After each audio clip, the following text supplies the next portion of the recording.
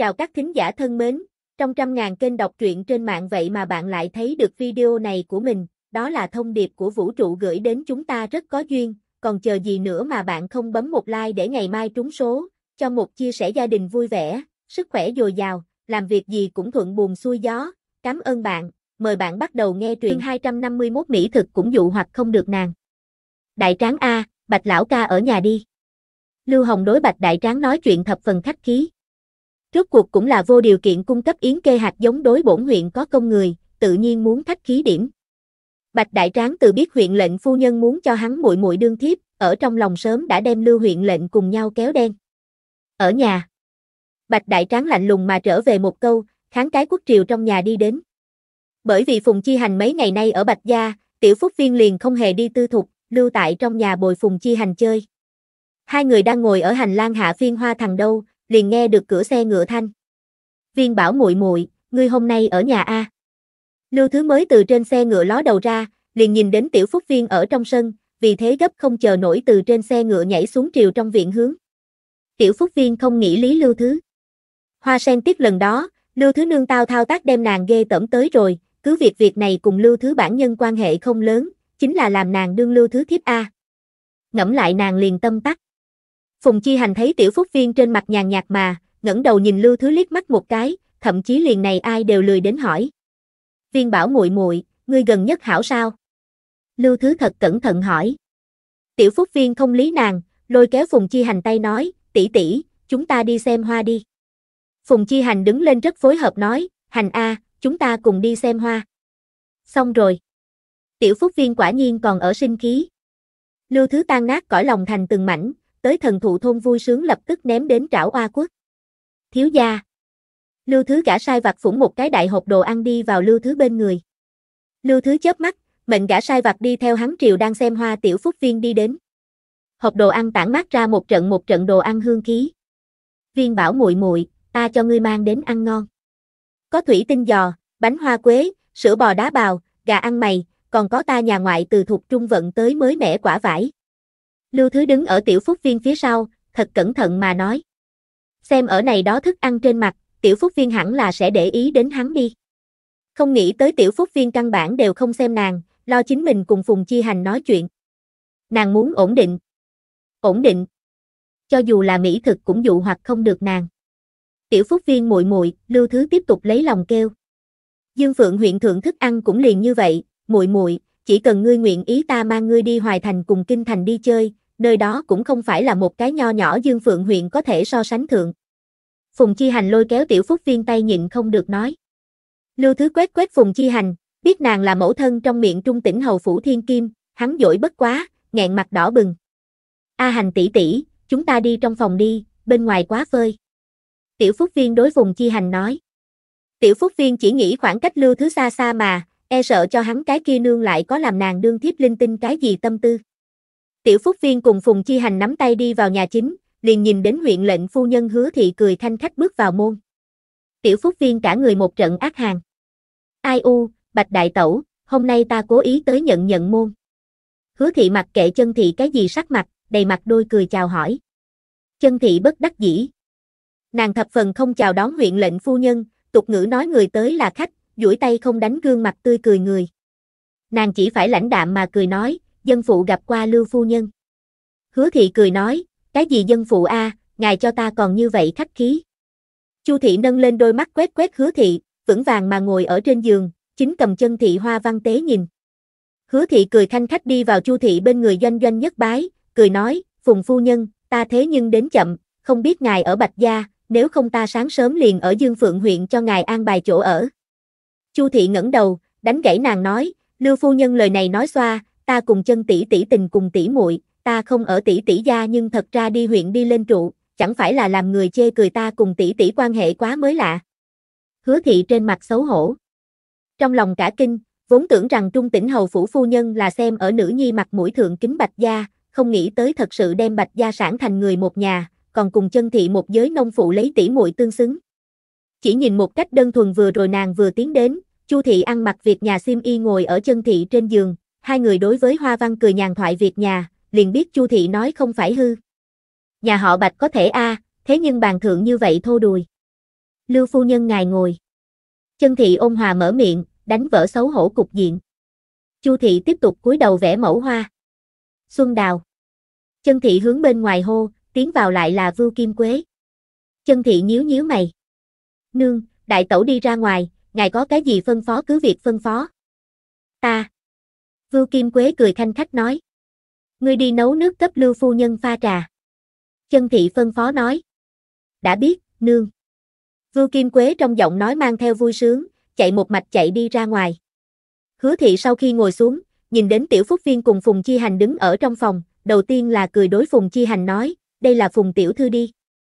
Vừa thấy chính là đại gia khuê nữ Chi Phong. Phùng Chi Hành cười cười không nói chuyện. Chu thị trong lòng âm thầm viết miệng, tới nhà họ Bạch làm khách, không nói trước khen tiểu phúc viên, nhưng thật ra trước khen khởi cùng là làm khách nhân gia nữ nhi. Hứa thị thấy Phùng Chi Hành rất là lãnh đạm, trong lòng còn tưởng rằng là kinh môn quý nữ tính tình gây ra. Tiểu viên bảo, đã lâu không gặp ngươi, ngươi trường như vậy cao, mặt mày cũng càng ngày càng đẹp.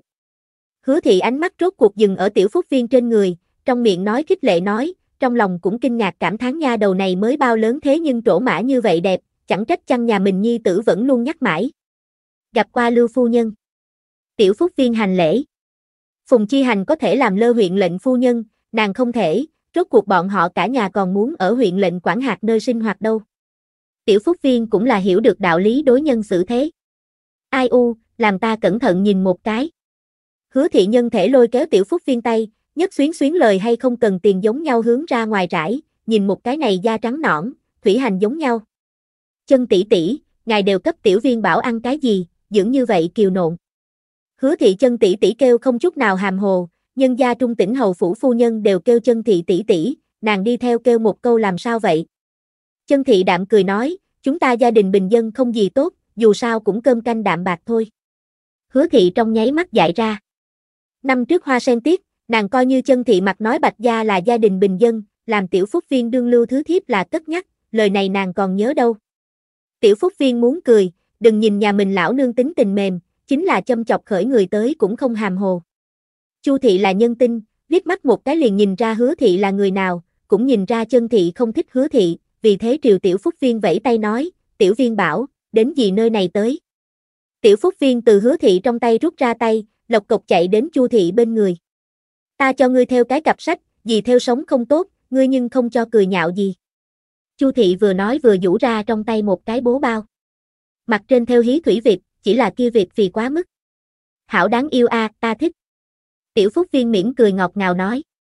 Hứa thị triều kia bố bao thượng ngắm liếc mắt một cái, trong lòng nhảy dựng. Cặp sách là dùng thượng đẳng nội tạo ánh trăng sa phùng, như vậy ánh trăng sa, bọn họ hứa gia cũng đã bị ban quá hai thất. Rốt cuộc là hầu phủ, thế nhưng dùng như vậy quý trọng nguyên liệu phùng cặp sách. Nếu hầu phủ phu nhân như vậy coi trọng tiểu phúc viên, nàng như thế nào mở miệng cầu hôn sự. Thứ 252 tháng ảnh xa Cảm ơn gì? Tiểu phúc viên vuốt ve tiểu cặp sách, ngọt ngào về phía Chu thị nói lời cảm tạ. Gì đây là cái gì nguyên liệu a, lại nhẹ lại mềm, sờ lên hoạt hoạt. Tiểu Phúc Viên hỏi. Không đợi Chu thị trả lời, chân thị buộc miệng thốt ra, đây là ánh trăng sa. Ánh trăng sa đối giờ chân thị tới nói không phải cái gì hiếm lạ nguyên liệu, trong nhà đa dụng nó tới hồ cửa sổ. Nàng trụ trong viện, mỗi năm mùa xuân cửa sổ đều sẽ thay tân ánh trăng sa. Bởi vậy, nàng thuận miệng liền nói ra tới. Chu thị nhịn không được nhìn chân thị liếc mắt một cái, trong lòng kinh ngạc chân tỷ tỷ thế nhưng liền ánh trăng sa đều biết. Đây chính là nội tạo, toàn dựa hoàng gia ban thưởng, chân thị làm sao mà biết được như vậy rõ ràng. Nghĩ như vậy nhịn không được hỏi, tỷ tỷ nhận được loại này nguyên liệu. Chân thị bừng tỉnh chưa giác gật đầu, nhàn nhạt nói, giờ gặp qua. Giờ liền gặp qua.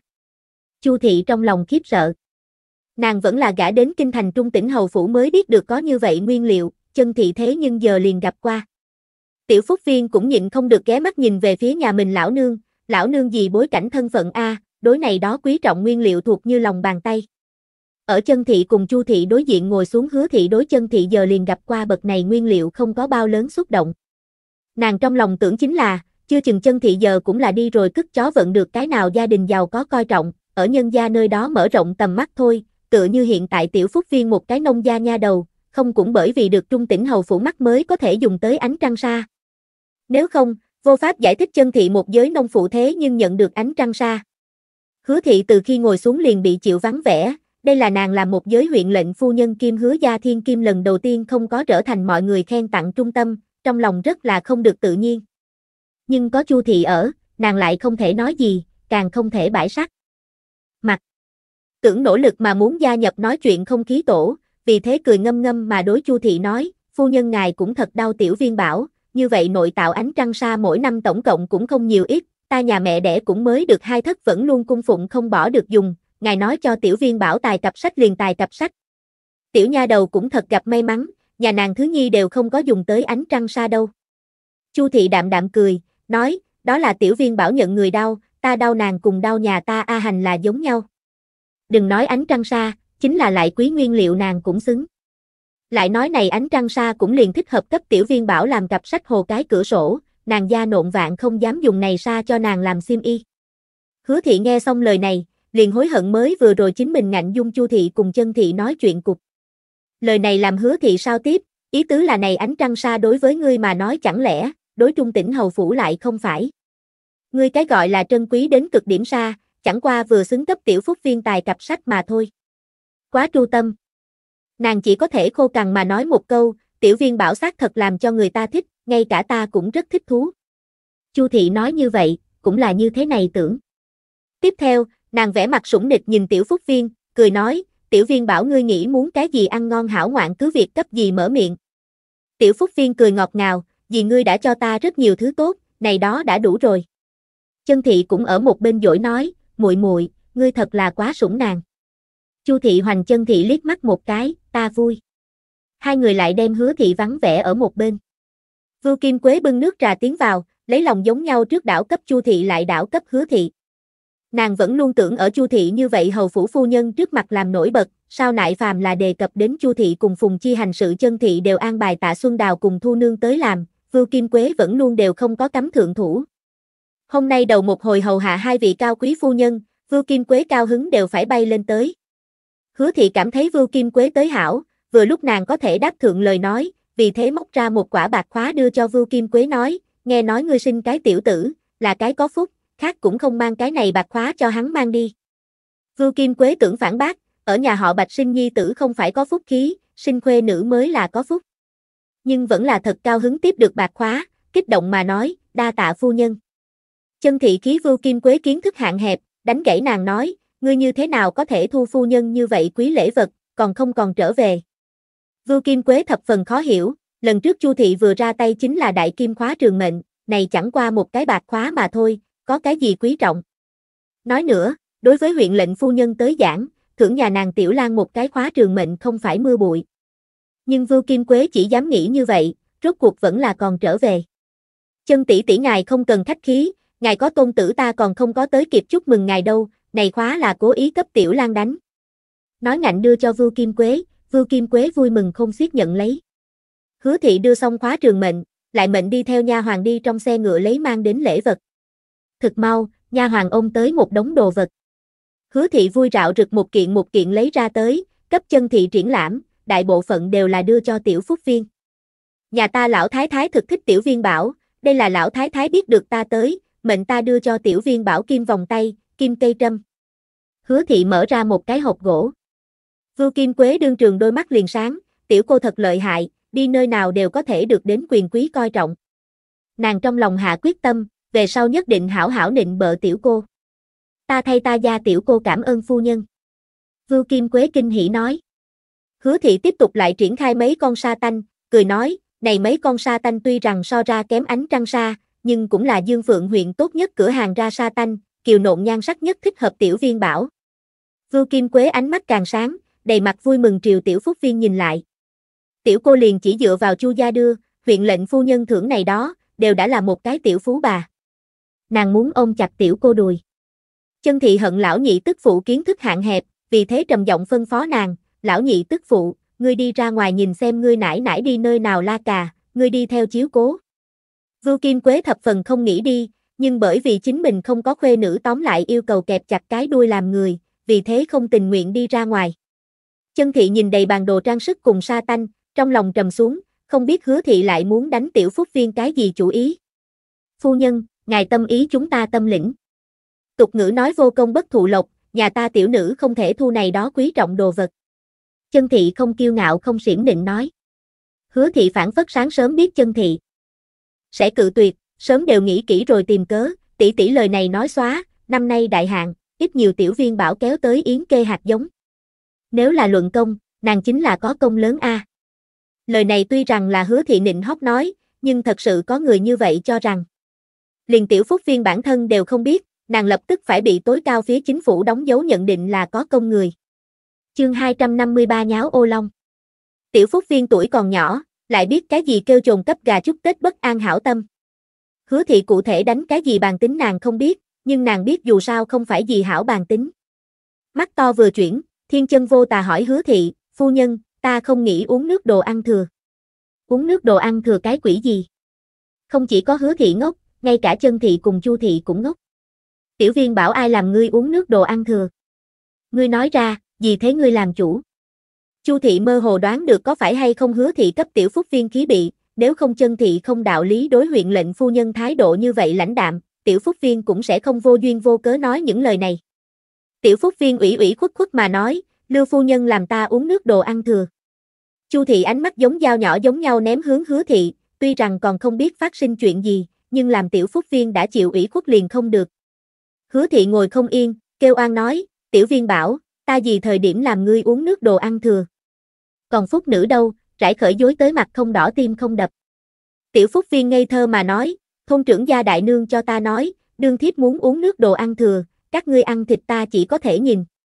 Gì? Hứa thị đầu óc có điểm đường ngắn. Uống nước đồ ăn thừa cùng đương thiếp như thế nào liên hệ thượng? Ở lưu gia đừng nói đương thiếp, chính là đương cái nha hoàng cũng so thần thụ thôn nông gia sinh hoạt hảo A. Phu nhân, ta đưa ta này đó lễ vật, có phải hay không muốn cho ta đi nhà các ngươi uống nước đồ ăn thừa, ta không nghĩ uống nước đồ ăn thừa cho nên ta không cần này đó lễ vật. Phùng Chi Hành bắt được trọng điểm, thiếp. Thiếp nàng hiểu A, bọn họ trung tỉnh hầu phủ từ nàng gia gia định ra quy củ liền không chuẩn nạp thiếp, nhưng kinh thành trừ bỏ phùng gia nhà ai không có thiếp. Nàng đi người khác trong phủ làm khách, phát hiện thiếp thân phận nửa vời, muốn ở chủ mẫu trước mặt lập quy củ, thậm chí liền ở chính mình hài tử trước mặt cũng là nửa nô nửa phó. Tiểu Phúc Viên hình dung thực chuẩn xác, cũng không phải là uống nước đồ ăn thừa.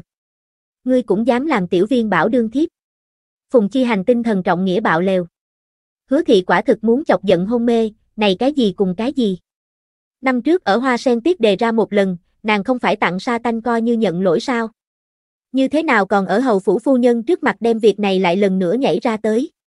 Chân thị trong lòng muốn cười, không nghĩ tới nhà mình khuê nữ như vậy cơ linh a, một tay đem tiểu phúc viên kéo ở trong ngực nói, nương tâm can bảo bối, trong nhà tuyệt không sẽ làm ngươi đi uống nước đồ ăn thừa. Chu thị trong đầu đã não bổ vừa ra tuồng. Lưu gia nhìn đến tiểu phúc viên như vậy tuấn tiếu lại có phúc khí, ỷ vào chính mình là quan gia bạch gia là nông gia, liền ỷ thế hiếp người, muốn nạp tiểu phúc viên làm thiếp. Đáng thương hài tử, liền thiếp cũng đều không hiểu là có ý tứ gì, đã bị người khi dễ. Hảo A, hảo một cái lưu hồng, mệt nhà nàng tướng công còn tán lưu hồng đem dương phượng huyện lỵ lý không tồi, nguyên lai sau lưng như thế xấu xa.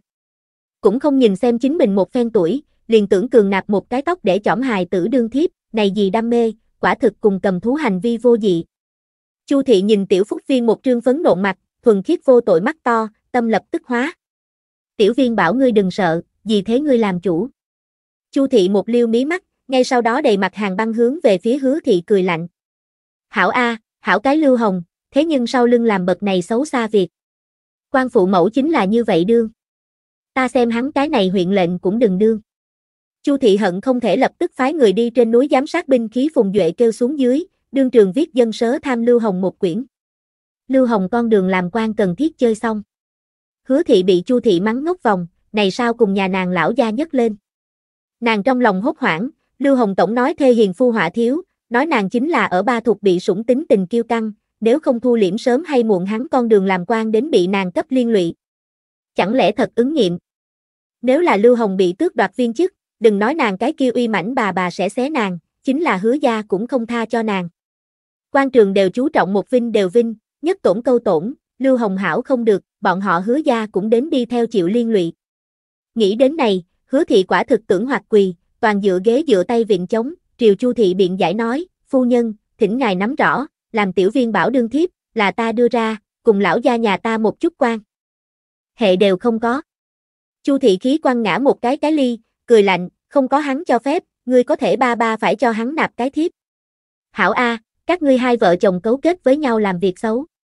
Các ngươi nạp thiếp ta quản không được, nhưng là các ngươi không nên đánh tiểu viên bảo chủ ý, không nói nàng tuổi như vậy tiểu, chính là nàng lớn chút nữa, ngươi tự thỉnh hạ đường kiệu tám người nâng nâng nàng đi đương chính thê, lưu hồng hắn cũng xứng.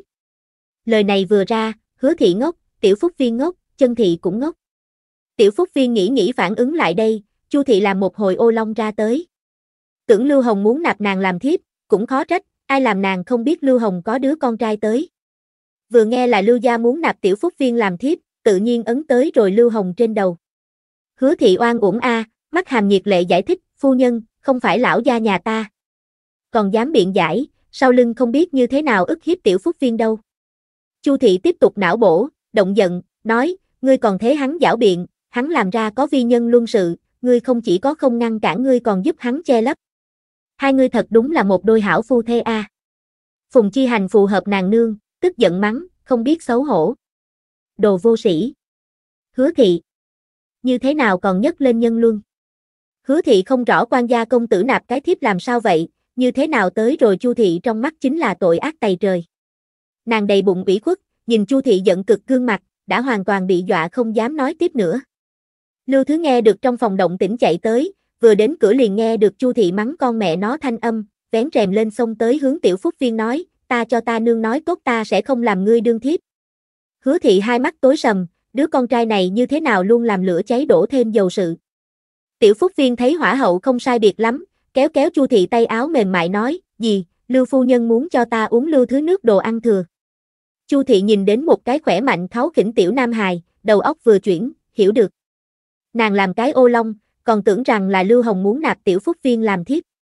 Liền nói sao, bị tướng công khen ngợi huyện lệnh thế nhưng có như vậy xấu xa.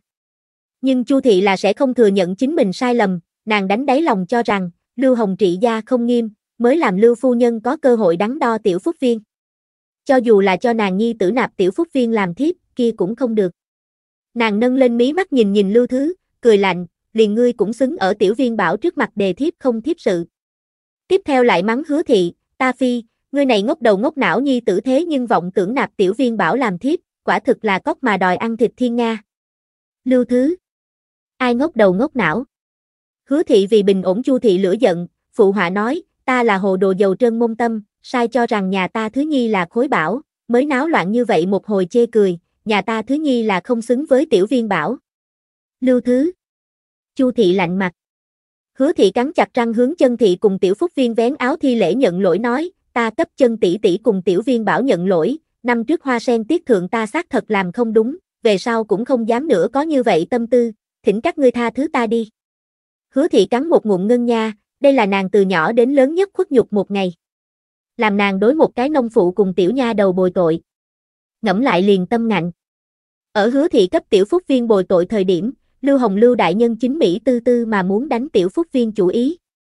Thứ 254 huyện lệnh tưởng kết thân. Nói tiểu phúc viên phúc nữ thanh danh từ thần thụ thôn lướt qua Nam Quan Trấn, theo Dương Phượng huyện truyền tới Hoài Thành. Thậm chí tri phủ đại nhân đều cấp Lưu Hồng viết thư dò hỏi việc này. Lưu Hồng càng nghĩ càng cảm thấy Dương Phượng huyện có tiểu phúc viên quả thực là một kiện chuyện may mắn. Đặc biệt là quảng sắc cùng Yến kê hai việc, không chỉ có cho hắn chiến tích góp một viên gạch. Liền nói ai có thể bị quải phát hiện cái quặng sắt cùng binh khí xưởng, quyết triều đình đúc giáp sắt chất lượng tốt thiết không đủ vấn đề, ai có thể tùy tay một kéo hạt giống giải quyết Dương Phượng huyện nạn hạn hán vấn đề. Hơn nữa, ở như vậy đại hạn trung, duy độc thần thụ thôn xanh mượt một mảnh, đặc biệt là nhà họ Bạch mà cùng với nhà họ Bạch quanh thân địa, càng là một chút đều không có đã chịu nạn hạn hán ảnh hưởng. Cũng chưa biện pháp dùng trùng hợp tới giải thích. Duy nhất giải thích chính là, ông trời thiên vị tiểu phúc viên. Càng quan trọng là, Lưu Hồng ở thần thụ thôn cẩn thận hỏi thăm, nhà họ Bạch chính là bởi vì có tiểu phúc viên mới nhật tử càng ngày càng tốt. Ngẫu nhiên biết được A đến cùng trung tỉnh hầu phủ thiên kim đính hôn, động tâm tư, tưởng đem tiểu phúc viên cùng con của hắn lưu thứ kết thân. Hắn phản đối hứa thị đem tiểu phúc viên nạp vì lưu thứ thiếp, nhưng không phản đối đem tiểu phúc viên nạp vì lưu thứ chính thê. Không chỉ có không phản đối, thậm chí gấp không chờ nổi liền phải định ra việc hôn nhân này. Mấy ngày nay, hắn đều suy nghĩ chuyện này, sở dĩ chưa cho hứa thị thông khí, liền sợ hứa thị kia tính tình cảm thấy nhà họ Bạch là nông hộ từ giữa làm khó dễ. Đi vào thần thụ thôn sau, Lưu Hồng càng thêm vội vàng tưởng hướng nhà họ Bạch cầu hôn. Hài tử tiểu, sợ gì a, trước đính cái oa oa thân, chờ tới rồi cập kê khi tại hạ xính lễ. Nếu tri phủ đều gửi thư, thuyết minh tiểu phúc viên thanh danh ở bên ngoài đã truyền khai, này không phải lấy người ý chí có thể ngăn cản. Thanh danh lớn sau, tất nhiên sẽ có rất nhiều người hướng về phía phúc nữ vận mệnh tưởng cùng nhà họ Bạch kết thân, vạn nhất là tri phủ như vậy gia đình giàu có có tâm tư thật đúng là không dễ làm, theo hắn hiểu biết tri phủ tiểu công tử so nhà mình nhi tử cũng liền đại tam tuổi. Cho nên hắn muốn xuống tay trước. Lưu Hồng lần này tới thần thụ thôn chủ yếu là bị mạnh biết tự triệu kiến đàm luận lấy quặng một chuyện, hắn liền nhà họ Bạch Môn cũng chưa tiến, liền đi trước thấy mạnh biết tự. Lão Lưu a lão Lưu, quân giam khí người ta nói, Nam quan ải này tòa quặng sắt có thể chế tạo giáp sắt cùng trọng hình vũ khí, ngươi lập công lớn. Mặt rồng đại duyệt, chỉ sợ thăng chức sắp tới. Mạnh biết tự ý vị thâm trường nói. Đa tạ mạnh đại tướng quân tán thưởng, hạ quan chẳng qua làm hạ quan nên làm sự mà thôi. Lưu Hồng trong lòng lân lân. Vẫn luôn từ A đến Đại Trạch ra tới, trong lòng còn phiêu ở đám mây đâu. Nhìn đến nhà họ Bạch Đại Môn, trong lòng càng thêm kích động, để tránh đêm dài lắm mộng, hận không thể lập tức liền đem tiểu phúc viên cùng nhi tử qua qua thân cấp đính thượng. Bạch một bản khiên thiết chù y từ quảng sắc tràn về nhà, nhìn đến Lưu Hồng Đại Nhân đứng ở nhà mình cửa, trên mặt một hồi cười một hồi nhíu mày, không biết đã xảy ra gì sự. Thảo dân. A nha, Bạch Đại ca, đừng thảo dân không thảo dân, hai anh em ta ai cho ai.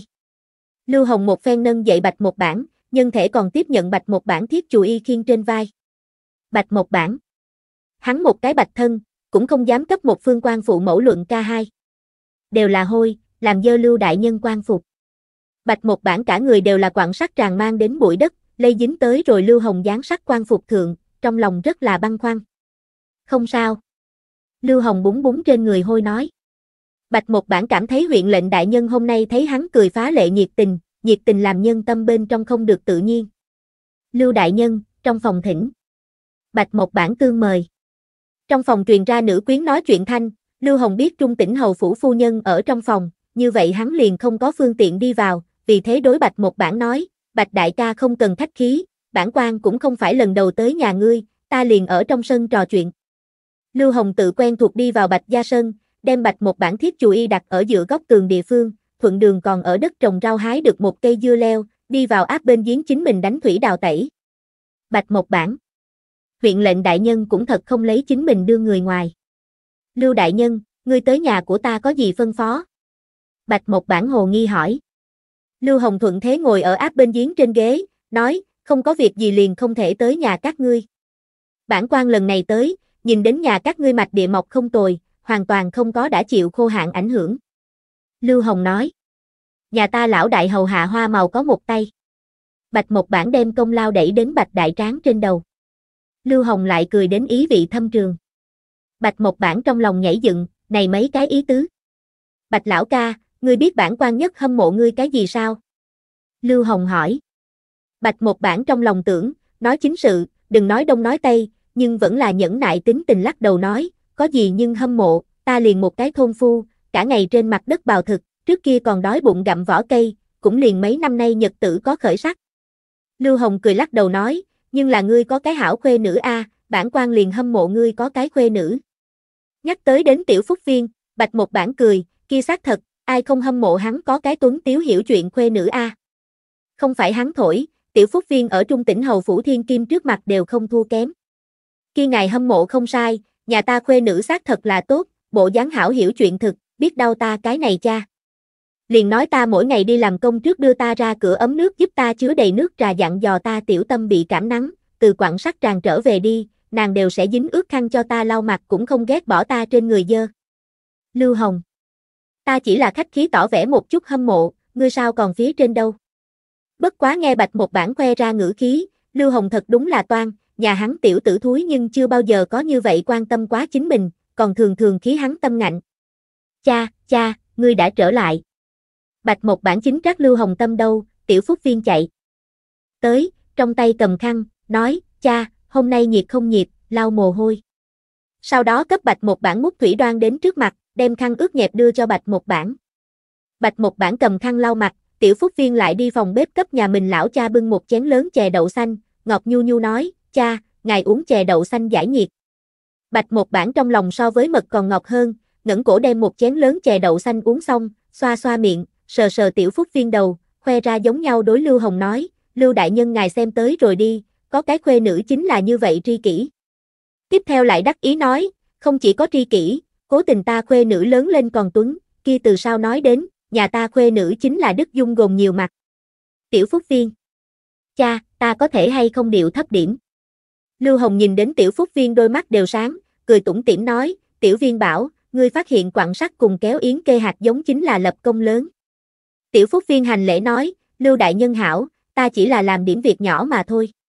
Lưu Hồng trong lòng càng hỉ, nhìn xem nhân gia cô nương này, lại khiêm tốn lại hiểu chuyện, hắn thậm chí đều cảm thấy nhà mình nhi tử trừ bỏ dòng dõi nào nào đều không xứng với tiểu phúc viên. Lại không hạ thủ, đã bị người xính đi. Vì thế cười ha hả đối bạch một bản nói, bạch lão ca, bản quan cực kỳ thích tiểu viên bảo, không biết chúng ta hai nhà có không kết cái thân.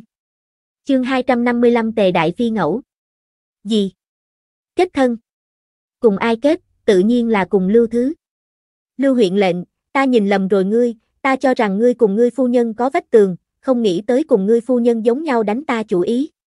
Tiểu Phúc Viên cảm thấy thập phần vô ngữ, Lưu Hồng huyện lệnh cũng thật sẽ khai não động A. Đừng nói nàng bây giờ còn nhỏ, chính là tới rồi kết hôn tuổi tác, nàng cũng tuyệt đối không có khả năng cùng Lưu Thứ kết thân. Bạch một bản đương trường mặt liền cương. Vừa rồi trả lại cho ta xưng huynh gọi đệ, xoay mặt ngươi liền phải cùng ta đương thông gia. Trách không được mới vừa rồi một mặt hâm mộ ta có khuê nữ, nguyên lai là muốn đánh ta khuê nữ chủ ý.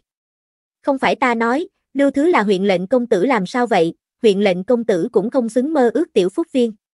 Đến nỗi ai có thể mơ ước, Bạch Một Bản cho rằng ai đều không xứng.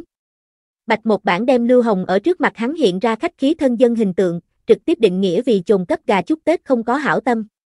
Lưu Đại Nhân, tuy rằng nhà ta là hàng môn nhà nghèo, nhưng nhà ta khuê nữ giống nhau là cả nhà bảo.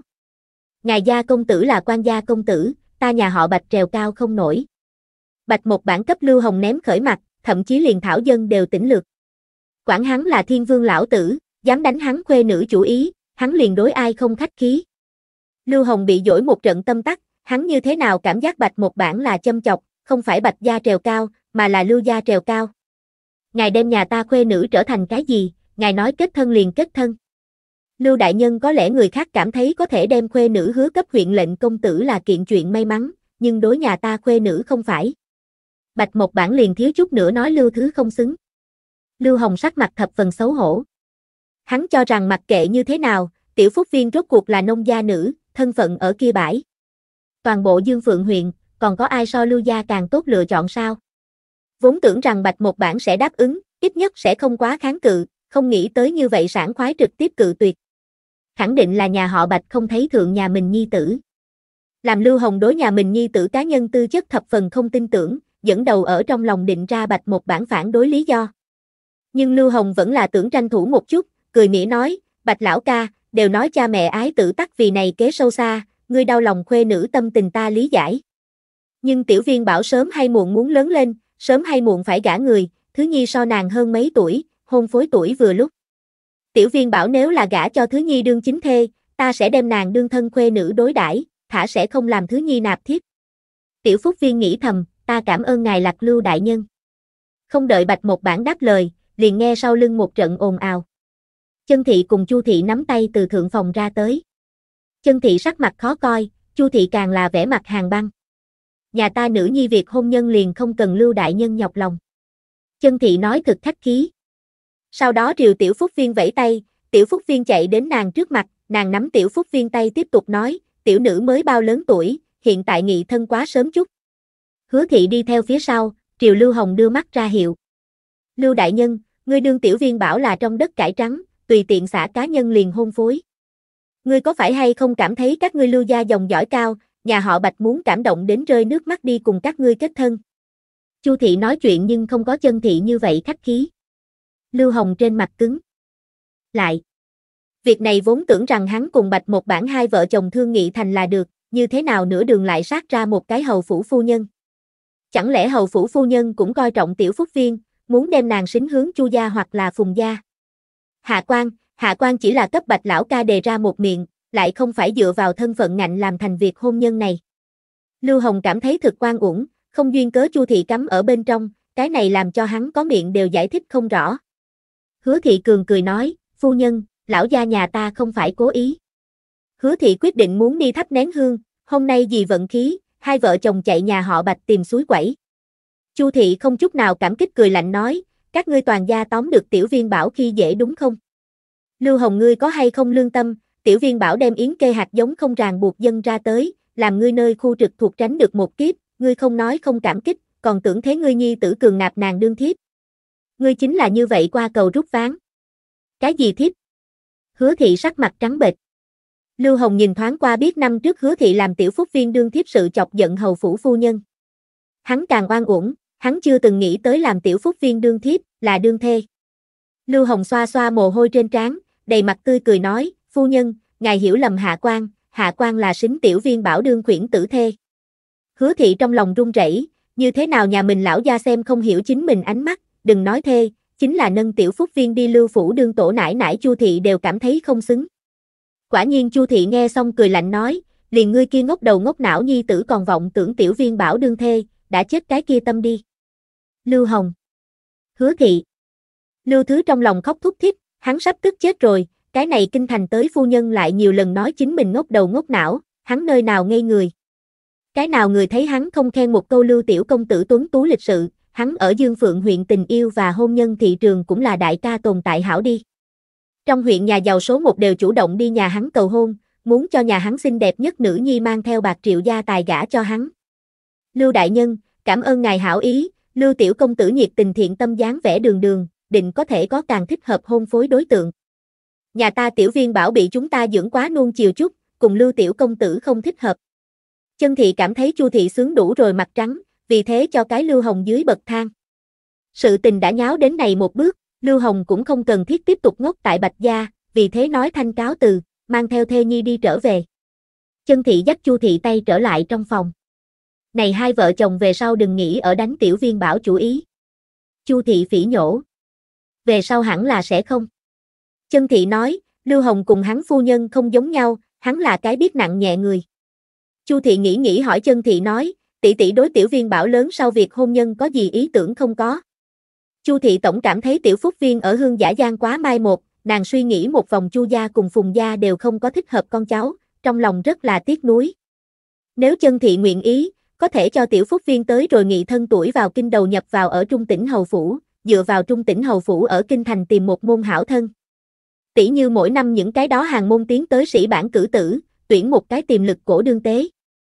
Chân thị thở dài một hơi nói, ta cùng nàng cha đối nàng về sau việc hôn nhân nhưng thật ra không có gì quá lớn ý tưởng, đều nói tề đại phi ngẫu, nếu là gả cho gia đình giàu có thượng muốn hầu hạ cha mẹ chồng hạ muốn hầu hạ tiểu cô, thật sự quá vất vả chút. Ta chỉ nghĩ nàng về sau gả cho gia đình giàu có gia đình bình dân quá bình thường nhật tử, tốt nhất liền ở Nam Quan trấn vùng, về sau có chuyện gì trong nhà có thể sớm ngày được đến tin tức chạy đến cho nàng chống lưng. Chu thị nghe chân thị nói như vậy, ngược lại không hảo đề về sau làm tiểu phúc viên đi kinh thành tìm thân ý tưởng. Tỷ tỷ. Chu thị vừa muốn nói gì, bỗng nhiên bên ngoài một trận ồn ào. Một đạo tim tế thanh âm truyền đến, Bạch gia tiếp chỉ. Chương 256 sách phong hương chủ. Tiếp chỉ. Tiểu Phúc Viên đứng ở trong viện đang cùng Phùng Chi Hành cùng nhau tẩy quả tử ăn, bỗng nhiên nghe được tiếp chỉ hai tự, trong lúc nhất thời không phản ứng lại đây. Bạch lão thái thái bạch một bản bạch đại tráng tạ xuân đào đám người nhìn trước mắt tuyên chỉ thái giám, vẻ mặt mờ mịt. Chủ yếu là đại gia không có trải qua quá việc này, nhiều nhất cũng chính là huyện lệnh đại nhân đưa đánh hổ anh hùng tấm biển, bỗng nhiên tới cái thái giám làm tiếp chỉ, làm đại gia hoàn toàn ngốc vòng. Thánh chỉ đến, bạch phúc viên tiếp chỉ. Gì? Là cho nàng tiểu phúc viên. Tiểu phúc viên nhìn nhìn trong nhà đại nhân, lúc này trừ bỏ tứ ca hôm qua khởi hành đi hoài thủy thư viện, tam ca tam tẩu ở trấn trên làm buôn bán, mặt khác. Người nhà đều ở, đồng dạng, mặt khác người nhà tập thể ngốc vòng trung. Tuyên chỉ thái giám cũng thực ngốc, hắn tuyên như vậy nhiều lần, lần này là lần đầu ngàn dặm xa xôi bị phái đến Nam quan trấn trong thôn tuyên chỉ, cũng là lần đầu gặp được tiếp chỉ người tập thể luống cúng cục diện. Vị này bá bá, ta là Phúc Viên. Tiểu Phúc Viên vui sướng chạy đến thái giám trước mặt, Ngọc Nhu Nhu hỏi. Ai u, này tiểu nha đầu lớn lên không tồi, quả thực là sơn thôn Minh Châu. Tinh xảo mặt mày, ngập nước mắt to, đem hoàng gia công chúa quận chúa đều bó lên đều không kịp nàng. Hồng Công Công nhìn đến tiểu phúc viên, trong lòng mới vừa rồi hơi chút bất mãn đảo qua mà quan. Nông gia sao, cũng là đầu một chuyến tiếp chỉ, không hiểu thực bình thường. Hồng Công Công chính mình cũng không biết, như thế nào một đôi thượng tiểu phúc viên liền bắt đầu song tiêu đâu.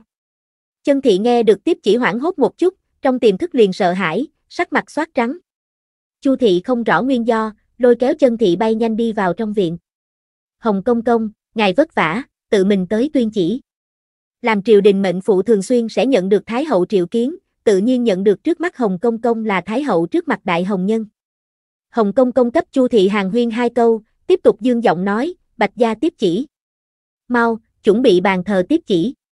Bạch người nhà nối tiếp chỉ không thân, Chu thị làm mệnh phụ nối tiếp chỉ lưu trình quen thuộc thực, vì thế Chu thị làm Bạch gia tiếp chỉ chỉ đạo người. Chân thị thấy Hồng Công Công trên mặt mang theo hiền lành cười, treo tâm thả lại trong bụng. Nếu là chuyện xấu, bên ngoài sớm một loạt tróc nã người binh. Nhà họ Bạch một trận rối ren chuẩn bị. Lưu Hồng đi đến cửa thôn biết được tin tức quay đầu triều nhà họ Bạch tới rồi, từ trên xe ngựa xuống dưới sau phi nước đại nhà họ Bạch giúp đỡ cùng nhau chuẩn bị tiếp chỉ. Ở Lưu Hồng ý bảo hạ, nhà họ Bạch phần phật quỳ một sân. Phụng Thiên thừa vận, hoàng đế chiếu rằng, Bạch gia ấu nữ thiên tư thông minh, tâm hệ hương dân. Đặt phong làm phúc vinh hương chủ, ban thưởng hoàng kim trăm lượng, khâm thử. Hồng Công Công dùng đặt có tiêm tế âm nhu tiếng nói tuyên đọc thánh chỉ. Còn ở quỳ bạch người nhà tập thể lại lần nữa ngốc vòng. Xa ở kinh thành hoàng đế thế nhưng biết nhà bọn họ tiểu phúc viên, còn sách phong nàng vì hương chủ. Một chút dấu hiệu đều không có, này sách phong quá đột nhiên. Phúc Vinh hương chủ, ngài tiếp chỉ đi. Hồng Công Công tuyên đọc xong thánh chỉ sau, cười tủm tỉm đi vào tiểu phúc viên trước mặt, đem chói lọi thánh chỉ đưa cho nàng. Tiểu phúc viên vội vàng đứng dậy, đôi tay tiếp nhận thánh chỉ. Đây là cổ đại thánh chỉ A. Tiểu phúc viên phủng thánh chỉ cúi đầu xem, cười cong khóe miệng. Tuy rằng thánh chỉ thượng nói nàng xem còn không phải quá hiểu, nhưng đều là hình dung nàng hảo từ. Tiểu phúc viên ngẩng đầu, nhìn về phía Hồng Công Công, tiềm thức trung nàng cảm thấy trước mắt Công Công là người tốt. Vì thế đối Hồng Công Công triển lộ ra gương mặt tươi cười, Ngọc Nhu Nhu nói, cảm ơn bá bá, ngài một đường vất vả lạp. Hồng Công Công nhìn trước mắt tiểu cô nương, trong lòng đã thích. Bộ dáng hảo, thanh âm ngọt, còn tuổi nhỏ liền hiểu được lễ tiết. Trách không được đều truyền nàng có phúc vận đâu, trách không được bị hoàng thượng phong làm hương chủ đâu. Bạch lão thái thái cùng Bạch một bản vội vàng tiếp đón Hồng Công Công vào nhà uống trà. Hồng Công Công vội vàng xua tay nói, không cần khách khí, nhà ta còn có chuyện đâu, chờ làm xong rồi liền phải hồi cung phục mệnh. Bạch lão thái thái cùng Bạch một bản không dám cường lưu. Chân thị đi hướng trước, móc ra một cái bố bao, bố trong bao là bạc, nhét vào Hồng Công Công trong tay. Công công ngài một đường vất vả, này đó ngài cầm uống trà. Hồng Công Công nhìn chân thị liếc mắt một cái. Mới vừa rồi không hiện sơn lộ thủy, nhưng thật ra thập phần hiểu quy củ. Hồng Công Công cũng không có chối từ, thản nhiên nhận lấy chân thị cấp bạc. Đây là hỷ sự, cấp chính là tiền mừng, cầm là hảo điềm có tiền. Lại nói hắn một đường vất vả từ kinh thành tới tuyên chỉ, tự nhiên đến lấy điểm vất vả tiền. Hồng Công Công từ nhà họ Bạch rời đi, liền quẹo vào đối diện tòa nhà lớn.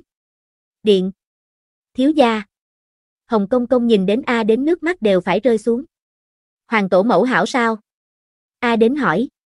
Hảo, đều hảo, Thái hậu hảo, Hoàng thượng hảo, Hoàng hậu. Cũng hảo. Hồng Công Công nói. Tiểu viên bảo chỉ cấp phong cái hương chủ sao? A đến thay đổi đề tài. Hồi thiếu gia, đúng vậy. Hồng Công Công cười ha hả nói. Hương chủ đã rất là hoàng gia ban ân, liền nói thiên hạ cái nào nông môn tiểu cô nương có thể bị phong làm hương chủ, bạch gia tiểu nữ chính là đại hạ đầu một phần. Nàng đầu tiên là phát hiện quảng sắc, sau lại lại dâng ra yến kê hạt giống, hẳn là cấp cái càng cao phong hào mới là. A đến rất là tức giận bất bình, tiểu viên bảo nhưng có thể so với có thể làm đại thần, phụ hoàng gần đây càng thêm keo kiệt. Nàng rốt cuộc là cái tiểu nha đầu, thiếu gia lự kính quá nặng đi. Hồng công công khóe miệng trừ. Trừ, hắn cũng không dám cấp thiếu gia cùng nhau nghị luận hoàng thượng.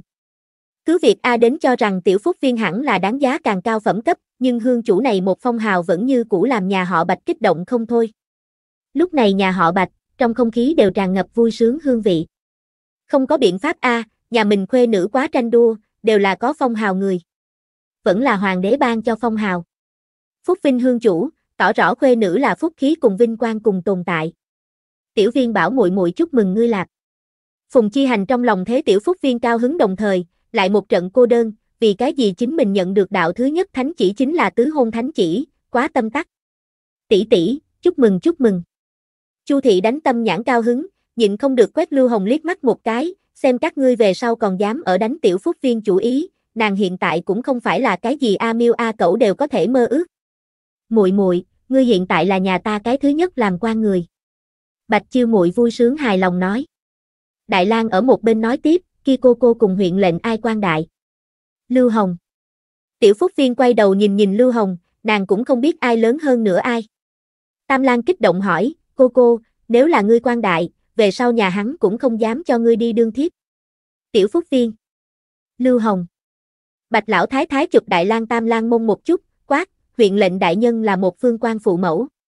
Lưu Hồng xấu hổ cố gắng Tiểu Phúc Viên vài câu, trực tiếp cáo từ, nhưng nghĩ nghĩ trong lòng thập phần cao hứng, hắn khu trực thuộc thế nhưng ra một cái hương chủ. Đối với hắn mà nói, thuộc về giáo hóa có công thành quả A, có thể viết ở báo cáo công tác báo cáo A. Bạch lão thái thái cùng chân thị liếc nhau, ánh mắt dừng ở nhìn tiểu phúc viên, mẹ chồng nàng dâu hai trong lòng đều thực phức tạp. Các nàng vẫn luôn muốn tiểu phúc viên điệu thấp. Chính là hiện tại thế nhưng liền trong hoàng cung hoàng đế đều đã biết. Này về sau sao điệu thấp. Chương 257 triều bái hương chủ. Chân thị liền có một loại cảm giác, trong nhà càng là muốn cho khuê nữ điệu thấp, khuê nữ thanh danh ngược lại càng lớn truyền càng quảng. Hương chủ phẩm cấp tuy rằng không cao, nhưng có phong hào, còn có bổng lộc, lại còn có muốn thượng huyện chí. Cả nước đều không có mấy cái, huống chi nhà mình khuê nữ vẫn là nông gia nữ. Tin tức truyền ra đi, không biết chọc nhiều ít gia đình giàu có khuê nữ hâm mộ. Hiện tại bị hoàng thượng hạ thánh chỉ, chỉ sợ này về sau biết tiểu phúc viên đại danh người càng ngày càng nhiều. Liền sợ cây to đón gió. Chân thị trong lòng ngũ vị trần tạp. Chân tỷ tỷ, ngươi có phải hay không lo lắng tiểu viên bảo vạn nhất về sau vì nổi danh sở mệt? Chu thị nhỏ giọng hỏi. Chân thị nhẹ nhàng gật đầu, trên mặt phát sầu nói, ta này trong lòng luôn là không yên ổn. Chu thị nhìn nhìn tiểu phúc viên phấn bạch gương mặt, cười nói, tỷ tỷ không cần lo lắng, cái gọi là các nhân tự có thiên tướng, nếu tiểu viên bảo có thể lên làm hương chủ, thuyết minh nàng là có thể gánh nổi. Chân thị thở dài, cũng chỉ có nghĩ như vậy. Bạch một bản lại thập phần hưng phấn, từ nhỏ phúc viên trong tay tiếp nhận thánh chỉ thành kính phủng ở trong tay, cười đến không khép miệng được. Đồng dạng không khép miệng được còn có bạch đại tráng, hắn đứng ở bạch một bản bên người đôi mắt không xê dịch nhìn chầm chầm thân cha trong tay, Minh Hoàng Thánh chỉ thứ hắn đôi mắt muốn rơi lệ. Cha, nguyên lai thánh chỉ là cái dạng này. Bạch chiêu muội đầy mặt kinh ngạc cảm thán, vương tay nói, cha, ta có thể sờ sờ sao? Một bên đi, đây chính là cho ngươi muội muội, sờ hỏng rồi làm sao bây giờ? Có bản lĩnh chính mình tránh. Bạch Mộc Bản nói. Bạch Chiêu Muội hiện tại đã đi theo mạnh biết tự lăn lộn, lúc này hắn rất là hâm mộ muội muội, hạ quyết tâm muốn ở trong quân hảo hảo làm, tranh thủ sớm ngày lập công cấp trong nhà lại tránh tới một đạo thụ phong thánh chỉ. Bạch một Bản nhìn đến một bên con thứ hai, cũng vươn tay một bộ nóng lòng muốn thử muốn sờ một sờ bộ dáng, đôi mắt trừng, Bạch Nhị Tráng bắt tay rụt trở về. Tạ Xuân Đào cùng Vưu Kim Quế khó được không có ngăn cách đứng chung một chỗ, ánh mắt nóng bỏng nhìn về phía thánh chỉ.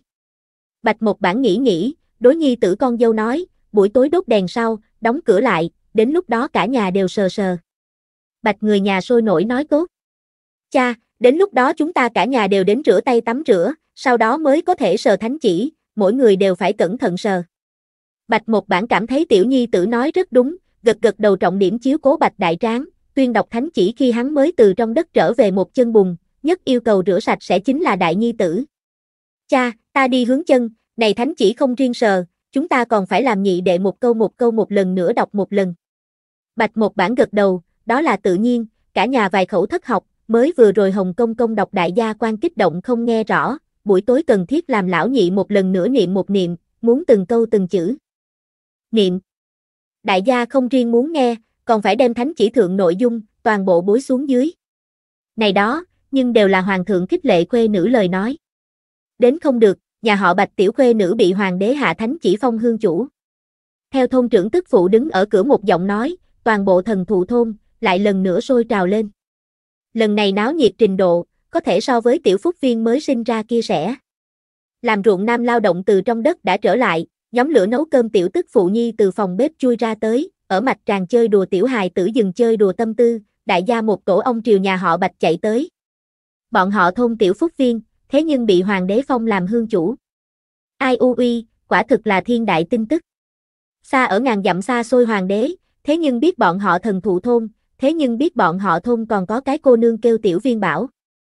Nói ngắn lại, bọn họ thôn nhưng xem như ra cái đại nhân vật. Hoàng đế thân phong hương chủ A. Toàn bộ hoài thành đầu một phần. Ta lúc trước sao nói? Năm đó lại đầu hòa thượng nói ứng nghiệm đi, nhà họ bạch khuê nữ thật đúng là có phúc vận A. Ai nói không phải đâu. Tiểu viên bảo quả nhiên có đại tạo hóa, liền kinh thành hoàng đế đều biết nàng. Ai, ai có thể nghĩ đến trước kia như vậy nghèo nhà họ bạch có thể rơi xuống một con kim phượng hoàng. Theo ta thấy nào, lúc này mới nào đến nào, nói không chừng về sau còn sẽ có lớn hơn nữa vận may chờ đâu. Chạy nhanh, chúng ta đi xem hoàng đế thân phong phúc vinh hương chủ đi. Đúng vậy, chúng ta chạy nhanh đi, dính một dính tiểu viên bảo phúc vận. Thần thụ thôn thôn trên đường chen đầy, đại gia cười vui, nghị luận, một đường triều nhà họ Bạch chạy đi. Nhà họ Bạch lại lần nữa náo nhiệt lên. Trong phòng ngoài phòng nơi nơi đều chen đầy, thậm chí có người chen không vào bò lên trên đầu tường. Đối, nhà họ Bạch hiện tại có tiền, một mặt rào tre tường tu thành cao lớn gạch xanh tường, cho nên không hề lo lắng rào tre tường dẫm đạp vấn đề. Đại gạch xanh trên tường đứng đầy một lưu người. Đại gia thế tất nhất định phải cúng bái một chút mới mẻ phúc vinh hương chủ. Nhà họ Bạch bị tương thân nhóm nhiệt tình sở cảm nhiễm, phao nước trà, giặt sạch quả tử. Lúc này tiểu phúc viên bị thu nương cùng tạ xuân đào liên thủ trang điểm một phen, thay một thân hồng y, tóc vãn thành hai cái tóc để chỏm dùng hồng dây buộc tóc cuốn lấy. Trên cổ bộ hoàng đế ban thưởng kim vòng cổ, trên tay trên chân mang theo hoàng đế ban thưởng kim vòng tay. Sống thoát thoát là tranh tết thượng long nữ cùng phúc hoa hoa. Phùng Chi Hành đều nhịn không được cười. Sau đó Bạch Đại Tráng đem nàng ôm tới rồi trong viện trên bàn. Tiểu Phúc viên ngồi ở cái bàn đang nhìn thiên, nàng đều cảm thấy chính mình hiện tại liền thiếu chút nữa đem linh vật ba chữ khắc vào tráng thượng, chờ đại gia triều bái. Chúng ta cùng nhau bái kiến hương chủ đại nhân đi. Thôn trưởng tức phụ hướng các dâu cả vẫy vẫy tay nói. Đúng đúng đúng. Tiểu nhân bái kiến hương chủ. Hương chủ đại nhân thỉnh ngài phù hộ nhà ta gà nhiều hạ mấy cái trứng. Hương chủ đại nhân nguyện vọng của ta đại, phù hộ nhà ta con dâu này một thai là cái mang bả. Đại gia vô cùng náo nhiệt xếp thành một loạt, biên khẩn cầu trong lòng nguyện vọng biên hướng tới tiểu phúc viên không lưng. Tiểu phúc viên càng thêm cảm thấy chính mình giống bị cung phụng lên linh vật. Ta hôm nay có thể ôm một cái hương chủ dính dính phúc khí không? Thôn trưởng tức phụ hỏi ra đại gia muốn hỏi nói. Đúng vậy, cần thiết ôm một cái, ông mới có thể lây dính càng nhiều phúc khí. Ta trước tới. Ta ở ngươi phía trước. Ai nha ta giày bị ngươi dẫm rớt. Thần thụ thôn tức phụ đại nương nhóm, ở thôn trưởng tức phụ dẫn dắt hạ, ùa lên, tranh nhau cướp đi ôm trên bàn tiểu phúc viên. Chân thị cùng bạch lão thái thái hoảng sợ, vội vàng mang theo trong nhà nữ quyến triều trong đám người hướng, muốn đem tiểu phúc viên cướp về. Thất sách, không nghĩ tới đại gia nhiệt tình như vậy tăng vọt, dọa đến hoặc là tể đến tiểu phúc viên làm sao. Đại nương không cần đoạt. Xem dọa đến nhà ta tiểu viên bảo. Tạ Xuân Đào đẩy ra một cái đại nương, lớn tiếng nói. Vưu Kim Quế giọng đại, lúc này có tác dụng, gân cổ lên kêu, tiểu cô ta tới. Không được đoạt, tiểu viên bảo là nhà của chúng ta, chính là có phúc khí cũng là chúng ta, cùng các ngươi có quan hệ gì? Ai, không cần đoạt, không cần đoạt. Tiểu cô, nhị tẩu tới cứu ngươi. Thu nương thân mình linh hoạt, từ mấy cái tiểu tức phụ trước tể đi vào, trăm cài đều bị tể rớt, mới vừa đủ đến tiểu phúc viên tay, đã bị một cái đại nương đẩy ra. Tiểu phúc viên. Lão nương nhóm cũng thật không dễ chọc. Chu thị cùng Phùng Chi Hành bị tể đến một bên, bị thần thụ thôn đại nương tức phụ sức chiến đấu khiếp sợ trụ. Triệu thôn trưởng nhìn đến trường hợp muốn mất khống chế, vội vàng gõ một tiếng chiên trống, nhảy đến một trương trên ghế, triều đám người lớn tiếng kêu, không được thương đến tiểu viên bảo, không cần đoạt, đại gia ngoan ngoãn đi xếp hàng, từng bước từng bước tới, mỗi người có. Phân, đều có thể bế lên. Đi đi, xếp hàng, xếp hàng. Chương 258 Linh vật Lúc này triệu thôn trưởng uy tín ở nhà họ Bạch trong viện không nhạy. Đại nương tiểu đám tức phụ ở thôn trưởng tức phụ dẫn dắt hạ làm lơ thôn trưởng kêu gọi, phía sau tiếp trước đi ôm tiểu phúc viên, e sợ cho chính mình xuống tay chậm, lây dính phúc khí liền biến thiếu. Ở vô cùng nhiệt liệt ái ôm trung, tiểu phúc viên bình tĩnh thực, một chút đều không có bị dọa đến. Chỉ là đại trời nóng, đại nương thím trên người hãng khí vị nhi, thật sự huân người. Tới, đại nương ôm một cái. Tẩu tử ôm, nhiều ôm sẽ. Được rồi, ngươi đều ôm lão đại biết, nên ta. Tiểu Phúc Viên bị cái này đại nương ôm một phen, lại bị cái kia tức phụ ôm không bỏ, từ người này trong lòng ngực, bị nhận được một người khác trong lòng ngực. Tiểu Phúc Viên ở đại nương tức phụ trong lòng ngực ra một thân hãng, chóp mũi quanh quẩn các loại hãng vị chua. Kích trống truyền hoa giống nhau, khó khăn truyền tới chân thị trong lòng ngực, tiểu phúc viên ôm mẫu thân cổ, rất có sống sót sau tai nạn cảm giác. Nàng ghé vào chân thị trong lòng ngực, hung hăng hút mấy khẩu mẫu thân trên người hương vị.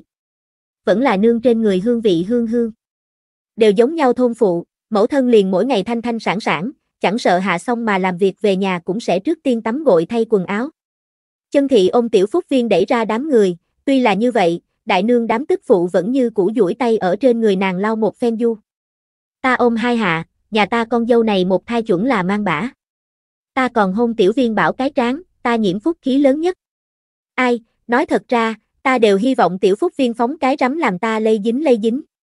Tiểu phúc viên khóe miệng trừ trừ, thần thụ thôn đại nương đám tức phụ quá chay mặn không kỵ, quá độc ác. Triệu thôn trưởng đem chiên trống đừng ở eo, từ trên ghế nhảy xuống, nhảy nhót chạy tới, thập phần ngượng ngùng đối tiểu phúc viên thỉnh cầu nói, tiểu viên bảo, làm bá bá ôm một cái, được không a? Triệu thôn trưởng cũng là có theo đuổi, một đoạn này thời gian hắn thậm chí đi tư thục làm bạch nhị tráng cho hắn khai tiểu táo, liền vì cá nhân văn hóa tu dưỡng tăng lên, làm tốt tương lai thăng hương trường làm chuẩn bị. Vạn nhất ôm tiểu phúc viên, lây dính thượng nàng phúc khí, thăng hương trường chi lộ thông thuận đâu.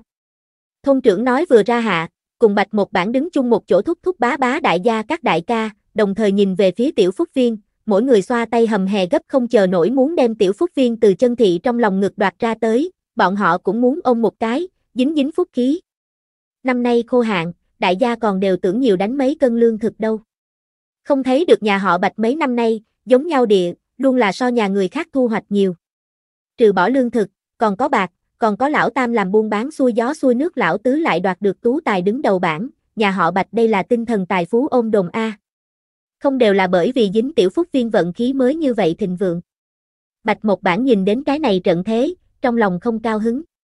Một đám dơ xú chân đất, thế nhưng tưởng báo nhà mình tiểu khuê nữ, kia trên người hãng vị yên vị huân đến tiểu phúc viên làm sao? Đều đi đi đi. Nhà ta khuê nữ là các ngươi có thể ôm sao? Các ngươi nghe nghe các ngươi trên người hương vị. Bạch một bản vẽ mặt ghét bỏ nói. Hắn trong lòng ủy khuất a. Phong hương chủ sau ta còn không có ôm đâu. Ta cũng không có ôm đến muội muội, ta đây liền đi rửa tay rửa mặt. Bạch đại tráng từ trong đất làm việc trở về trên người có bùn. Ta đi lao xuống đầu, chờ ôm muội muội. Bạch nhị tráng cầm bồn chạy tới múc nước. Bạch chiêu muội sát quyền ma trưởng, nói, ta từ buổi sáng liền không có ôm muội muội, lần này ta muốn trước tới, ta đã tắm xong. Bạch một bản nhìn nhìn thôn trưởng chờ tháo hán tử, nói, nhìn một cái, chúng ta người trong nhà còn không có luân thượng ôm đâu, sao có thể trước đến phiên các ngươi. Nói xong, nhếch miệng nhìn về phía tiểu phúc viên thẳng nhạc, sủng nịch nói, tới, khuê nữ, làm cha ôm một cái. Chân thị không dám đem tiểu phúc viên phóng trên mặt đất, sợ bị người khác đoạt đi rồi, vì thế đi tới, thò tay đem tiểu phúc viên đưa vào bạch một bản trong lòng ngực. Có thích hay không làm cha ôm? Bạch một bản ước lượng tiểu phúc viên, cười đến thấy răng không thấy mắt. Thích cha ôm một cái. Tiểu phúc viên ngọt nhu nhu nói. Triệu thôn trưởng đám người đôi mắt đều xem thẳng, cái kia hâm mộ cái kia toan nha, hận không thể cũng trở về sinh cái lão tới nữ. Bạch một bản ôm tiểu khuê nữ, trong lòng Mỹ tư tư, nhà mình khuê nữ thật cấp trong nhà tranh đua. Nhìn đến ta khuê nữ đi, liền hoàng thượng đều biết nàng, nàng hiện tại chính là hương chủ, vẫn là hoàng thượng thân phong hương chủ. Bạch một bản tựa như một con kiêu ngạo gà trống, hắn này đó phát tiểu A, nhà ai khuê nữ đều không bằng hắn. Tuy rằng là dưỡng nữ, nhưng người khác không biết A, đó chính là hắn khuê nữ. Thiên vương lão tử tới, cũng đoạt không đi. Triệu thôn trưởng bỗng nhiên nghĩ đến một sự kiện, tò mò hỏi. Bạch một bản, lão đệ, ngươi nói hoàng thượng xa ở kinh thành, hắn sao biết ta thôn tiểu viên bảo. Cái này hương chủ là bởi vì gì phong? Chung quanh người cùng nhau nhìn về phía bạch một bản, bọn họ cùng thôn trưởng có đồng dạng nghi vấn. Tiểu phúc viên như thế nào bỗng nhiên đã bị phong làm hương chủ? Thần thụ thôn khoảng cách kinh thành như vậy xa, hoàng đế cải trang vi hành đều không nhất định có thể sờ đến, sao mà liền biết tiểu phúc viên đại danh, còn trực tiếp cho phong hào. Bạch một bản ngẩn ra. Hắn chỉ lo vui vẻ kiêu ngạo, còn không có nghĩ lại vấn đề này. Ở trong lòng hắn, khuê nữ chính là thiên hạ đệ nhất, thiên tư thông minh người gặp người thích, hoàng đế đã biết lại sao. Phong thưởng vì hương chủ kia không bình thường. Thuyết minh chúng ta đại hạ hoàng đế thật tinh mắt. Thần thụ thôn những người khác nhưng không có bạch một bản như vậy đương nhiên, vì thế sôi nổi suy đoán nguyên nhân. Có phải hay không bởi vì tiểu viên bảo bị quải, phát hiện quặng sắt, ta này quặng sắt nói là tạo giáp trụ thượng đẳng hảo thiết, có này làm bằng sắt tạo vũ khí mạnh đại tướng quân ở biên cảnh liền càng có thể bảo vệ cho ranh giới. Chính là A đến cũng bị quải, hắn nơi đó sao không động tĩnh. Khẳng định không ngừng nguyên nhân này. Có người phỏng đoán nói. Chẳng lẽ là Bạch Gia đánh chết cọp cái? Kia cũng không đúng, cọp cái là Bạch Gia phụ tử ba đánh chết, lại nói huyện lệnh đều đã ban thưởng qua. Có người không tán đồng cái này cách nói. Có phải hay không bởi vì tiểu viên bảo phát hiện yến kê hạt giống, làm chúng ta năm nay có thu hoạch? Lại có người vỗ đùi nói. Khẳng định là, khẳng định là. Bạch Mộc Bản cùng chân thị liếc nhau. Thánh chỉ thượng không có viết cụ thể phong thưởng lý do, có lẽ là phát hiện quặng sắt cùng yến kê hạt giống nguyên nhân. Nhưng là, Bạch Mộc Bản cùng chân thị phu thê liền tâm, đều có một tầng lo lắng âm thầm. Có thể hay không là bởi vì khuê nữ phúc vận truyền tới hoàng đế lỗ tai, hoàng đế coi trọng nàng phúc vận. Bạch Mộc Bản bắt đầu não động mở rộng ra, hoàng đế có thể hay không đem tiểu phúc viên cướp được kinh thành đi. Này nhưng làm sao? Tiểu phúc viên nhìn nhìn cha, lại nhìn nhìn nương, vỗ vỗ tay nhỏ nói, cha, nương, không sợ, ta là có phúc khí người. Bạch Mộc Bản cùng chân thị ánh mắt sáng lên. Đúng vậy. Tiểu phúc viên như vậy có phúc khí người, sợ gì a, vì tình huống không đều có thể gặp dữ hóa lành. Bạch Mộc Bản cùng chân thị trong lòng, rộng mở thông suốt, buồn bực quét quan. Tiểu viên bảo chính là có phúc khí. Chân thị ôm tiểu phúc viên hung hăng hôn một cái. Cha, ta giặt sạch mặt cùng chân lau thân mình, có thể ôm muội muội sao? Bạch Đại Tráng thay đổi một thân tân y phục đi tới. Cha, ta tóc hướng sạch sẽ, còn dùng bồ kết. Bạch Nhị Tráng không cam lòng yếu thế.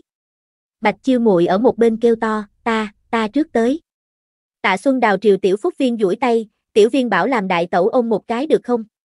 Vưu Kim Quế không muốn lạc người sau, tể đến Tạ Xuân Đào bên người, cười tủm tỉm nói, tiểu cô, làm ta ôm một cái. Đại lang nhị lang tam lang cũng cùng nhau nói, gia, chúng ta cũng muốn ôm tiểu cô cô. Nhị lang cố ý bổ sung, đại ca cùng tam đệ trước kia đều ôm số lần so với ta nhiều, ta hiện tại chân hảo, ta có thể nhiều ôm một cái sao?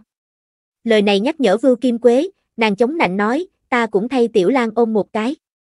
Cái kia, tiểu viên bảo muội muội, làm ta cũng ôm một cái đi. Phùng Chi Hành vẽ mặt chân thành đối tiểu phúc viên nói. Thu nương, còn có ta, chờ các ngươi ôm xong rồi ta lại ôm. Tiểu phúc viên. Hôm nay hoàn toàn trở thành linh vật. Thứ 259 thánh chỉ giống ti lụa giống nhau hoặc. Bạch Tam Tráng Hòa Điền lúa mạch non ở trấn trên nghe được mua sa tanh người ta nói thần thụ thôn Bạch gia ấu nữ bị sách phong vì hương chủ, lập tức đóng cửa hàng môn, triều trong nhà đuổi. Bạch Tam Tráng một chút đều không nghi ngờ muội muội bị sách phong hương chủ là lời đồn. Ở trong lòng hắn, muội muội trên người phát sinh cái dạng gì chuyện tốt đều là hẳn là. Không có biện pháp, hắn muội muội chính là có kia phân phúc khí. Bạch Tam Tráng Hòa Điền lúa mạch non xe ngựa đi vào Bạch Gia Sơn cửa khi, đám người còn không có tan đi. Mọi người nhìn đến Bạch Tam Tráng đại thanh con la xe lớn, đôi mắt lập tức thẳng. Tam Tráng, mướn như vậy xe lớn, ngươi kéo nhiều ít đồ vật về nhà. Liền có người hỏi. Không phải mướn, là mua. Bạch Tam Tráng cười tủm tỉm mà nói. Mua. Đại gia ánh mắt bắt đầu hâm mộ lên. Tiểu Phúc Viên đón mọi người ánh mắt, nhìn về phía cửa, chỉ thấy một đầu uy phong đại thanh con la phát ra tiếng phì phì trong mũi, tuy rằng không thể cùng A đến gia liệt mã so sánh với, nhưng ở thần thụ thôn cũng là nghiền áp cấp bậc tồn tại. Nói như thế nào đâu? A đến gia liệt mã tương đương với Rolls Royce Phantom, tam ca xe tương đương với bảo mã, BMW. Ở toàn thôn đại đa số người chỉ có thể giải quyết ấm no dưới tình huống, Bạch Tam Tráng có thể mua một chiếc phong cách bảo mã, BMW, nhưng quá nhận người hâm mộ. Ai, Bạch Tam Tráng kia cửa hàng cả ngày người đến người đi, không ra mấy năm liền cùng từ trưởng quầy. Giống nhau có tiền. Cũng không phải là, Tam Tráng mới làm buôn bán bao lâu a, liền mua cùng từ trưởng quầy giống nhau xe. Nhà họ Bạch phần mộ tổ tiên mạo đùi thô khó nhẹ, khuê nữ là hương chủ, con thứ ba về sau là ta nam quan trấn nhà giàu số một, còn có cái trạng nguyên, chờ coi đi. Nếu là nói trước kia đại gia trong lòng còn toan, hiện tại còn lại là hâm mộ. Bởi vì nhà họ Bạch cùng trong thôn những người khác trên lệch càng lúc càng lớn, đương đại gia chỉ có thể nâng mặt nhìn lên thời điểm, dư lại cũng chỉ có hâm mộ. Muội muội, tưởng tam ca sao? Bạch Tam Tráng sải bước đi đến tiểu phúc viên bên người, vẻ mặt kích động hỏi, thuận tiện đem tiểu phúc viên ôm vào trong ngực. Tưởng Tam ca. Tiểu phúc viên ngọt nhu nhu nói. Bạch Tam Tráng nghe được tiểu phúc viên nói muốn hắn, trong lòng miễn bàn cao hứng cỡ nào, nói, cho ngươi chuẩn bị ăn chơi hôm nay tới quá cấp, ta ngày mai đi cho ngươi lấy, nhà ta hiện tại cũng có xe. Tiểu Phúc Viên vừa định nói không cần, ngày thường tam ca tam tẩu lâu lâu liền cho nàng đưa các loại đồ vật, không kém lúc này đây. Tiểu viên bảo, tưởng tam tẩu không? Điền mạch miêu thuận tay từ bạch tam tráng trong lòng ngực đem tiểu phúc viên nhận được chính mình trong lòng ngực, nói, ngươi tam ca đã quên, ta nhưng không quên, lâm ra cửa ta đem ngươi đồ vật đều tắt trên xe mang đến. Tiểu phúc viên ngọt ngào nói, cảm ơn tam tẩu. Bạch gia những người khác âm thầm dậm chân, mới vừa rồi như thế nào không dành trước xuống tay ôm tiểu viên bảo đâu, không nghĩ tới bị bạch tam tráng hòa điền lúa mạch non này hai sau đến giả trước ôm. Thất sách, tuyệt đối là thất sách. Ban đêm, nhà họ bạch người ngồi vây quanh ở bên nhau. Chu thị biết nhà họ bạch buổi tối muốn quan sát thánh chỉ, sau khi ăn xong liền mang theo phùng chi hành về phòng. Bạch lão thái thái trong phòng, bật lửa hai căn thực thô ngọn nến. Này hai cây nến đuốc là tạ Xuân Đào hỏi tạ Tiểu Liên mượn. Ngày thường nhà họ Bạch là điểm đèn dầu, nhưng hôm nay liền không có điểm, sợ đèn dầu khói xông nhiễm đến thánh chỉ. Ánh nến đem Bạch lão thái thái trước giường cái bàn chiếu sáng trong, cùng với ánh cái bàn bên từng đôi sáng lên đôi mắt. Ban ngày người nhiều chưa kịp nhìn kỹ, hiện tại chỉ còn lại có người trong nhà, mỗi người đều thực kích động. Thánh chỉ liền chói lọi phô ở trên bàn, lóng lánh người mắt. Tổ tông tại thượng, lại không nghĩ tới nhà ta thế nhưng cũng có thể nhận được thánh chỉ. Bạch lão thái thái chấp tay trước ngực, nước mắt thiếu chút nữa xuống dưới. nãi nãi cha, nương. Bạch chiêu muội hưng phấn mà vươn tay, nhìn chói lọi thánh chỉ, kích động lại cẩn thận nói, nói tốt buổi tối khiến cho sờ, ta lại giặt sạch một lần tắm, ta có thể sờ soạn đi. Nói xong, tay thật cẩn thận hành hương chỉ sờ soạn. Bạch nhị tráng dùng trong tay thước đem bạch chiêu muội tay rụt trở về.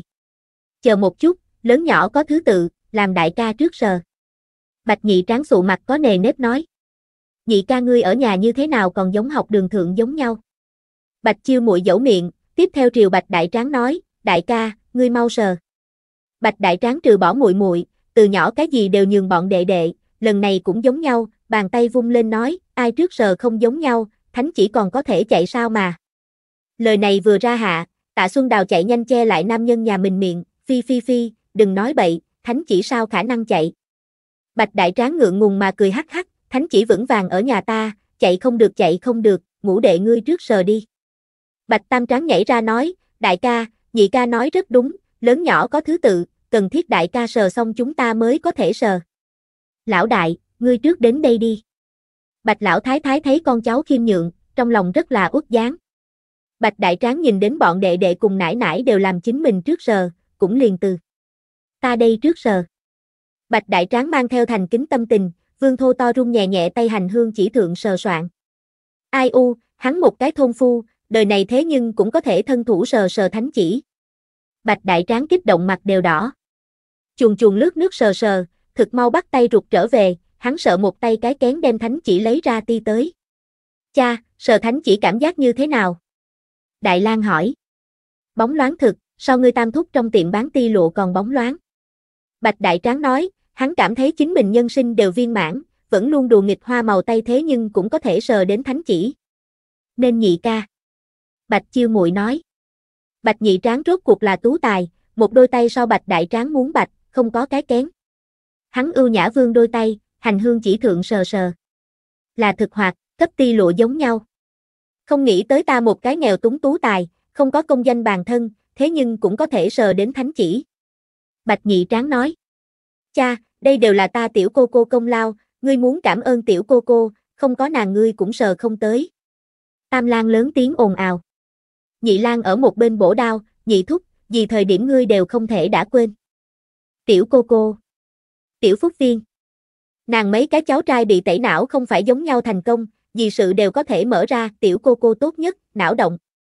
Bạch nhị tráng gật đầu, thuận thế bãi khởi phu tử tư thế, đúng vậy, đối, không riêng ta phải nhớ cô cô hảo. Các ngươi mấy cái cũng là, Đại lang hảo hảo bác bàn tính, Tam lang hảo hảo luyện trù nghệ, đặc biệt là nhị lang ngươi đầu óc sống niệm thư hảo về sau phải làm đại quan phải cho cô cô chống lưng. Tiểu Phúc Viên Nhị ca ngươi ở tư thục cũng không phải là như vậy nói, ngươi dạy dỗ đại gia niệm thư là vì hiểu lý lẽ, làm quan là vì vì dân, ở nhà sao chính là vì muội muội đâu. Bạch nhị tráng sờ xong, đến phiên bạch tam tráng. Bạch tam tráng hôm nay không có trở về trấn thượng cửa hàng, cố ý lưu tại trong nhà chờ buổi tối sờ thánh chỉ. Hắn buổi chiều đã đến thời điểm thánh chỉ đã thu hồi tới, hiện tại hắn đã cẩn thận quan sát một hồi, chính gấp không chờ nổi thượng thủ đâu. Ai, thác muội muội phúc, ta thế nhưng cũng có thể sờ đến thánh chỉ.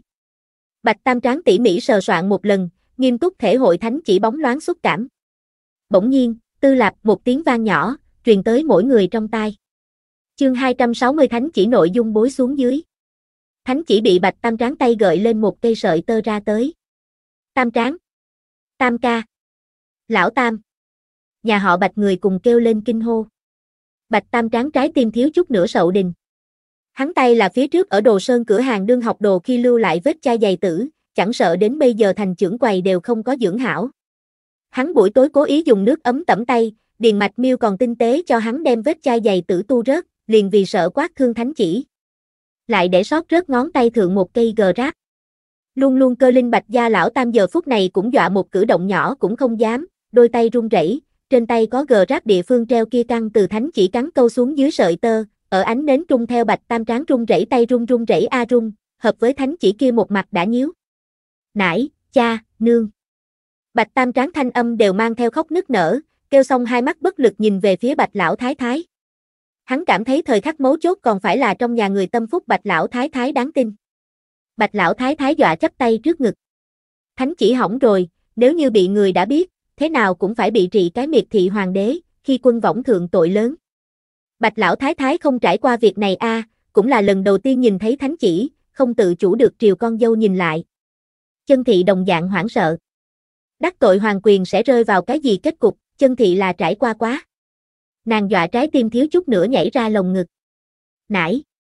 Luôn luôn ổn trọng điền mạch miêu dọa nước mắt đều xuống dưới, vuốt đôi mắt nhìn về phía bạch lão thái thái cùng chân thị cầu chủ ý, nương, này nhưng làm sao mới hảo, tam tráng hắn. Điền mạch miêu đem đen đuổi nói nuốt tiếng giọng nói. Tam tráng A, ngươi đừng nhúc nhích, làm đôi tay vững vàng.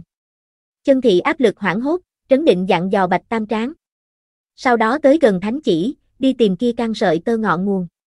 Cũng không thể lộng chặt đứt. Tiếc rằng, sợ ngọn nến không cẩn thận đốt tới thánh chỉ, ngọn nến điểm rất xa. Mông lung ánh sáng trung, chân thị tìm nửa ngày cũng không có nhìn đến sợi tơ ngọn nguồn ở nơi nào. Xuân Đào, ngươi đi đem ngọn nến đoan gần chút. Nãy, ta không dám, tạ Xuân Đào tay dọa phát run, nàng sợ một cái không xong đem thánh chỉ cấp bật lửa. Luôn luôn ái làm nổi bật vưu kim quế dọa súc ở tạ Xuân Đào phía sau. Một con dao giết heo chơi lẫm lẫm uy phong điền mạch miêu cũng không dám đoan ngọn nến. Nãy nãy, ngọn nến tới. Thu nương lấy tới ngọn nến, một tay vững vàng mà bưng, một tay thật cẩn thận mà che chở. Bạch lão thái thái che lại ngực, khẩn cầu liệt tổ liệt tông phù hộ, này thánh chỉ chính là nhà họ Bạch Vinh Quang, còn không có tới kịp ở tổ tông bài vị trước bày ra một chút đâu, chẳng lẽ liền hỏng rồi. Chân thị tìm nửa ngày không tìm được đầu sợi, nóng nảy một đầu hãng. Nương, ta tới. Tiểu Phúc Viên cực kỳ bình tĩnh nói. Nói xong đi đến cái bàn trước, ngồi xổm xuống sau đem đầu nhỏ ghé vào trên bàn, liếc mắt một cái liền trừ đến kia căng sợi tơ ngọn nguồn, nàng dùng tay nhỏ lập tức đem tam ca trong tay kia căng sợi tơ cấp xả xuống dưới. Tiếp theo dùng tay ở ti lụa thượng xoa xoa, lại là một trương hoàn hảo không tổn hao gì thánh chỉ. Chuẩn bị cho tốt. Nhiều đơn giản a. Bạch người nhà cúi đầu vừa thấy, không cẩn thận xác thật nhìn không ra tới, nhưng cẩn thận nhìn đi, vẫn là có thể nhìn ra tới cởi một cây ti. Đại gia tập thể lại khẩn trương lên. Đặc biệt là Bạch Tam Tráng, chỉ sợ đừng bởi vì chính mình cấp trong nhà mang đến tai họa. Tiểu Phúc Viên đứng lên, sáng lấp lánh mắt to nhìn đại gia lo lắng bộ dáng, đúng lý hợp tình nói, thánh chỉ ở nhà của chúng ta, người khác lại nhìn không thấy. Sợ gì, chỉ cần chúng ta chính mình không nói đi ra ngoài, có ai có thể biết được việc này. Bạch người nhà. Tiểu Phúc Viên nói giống như có đạo.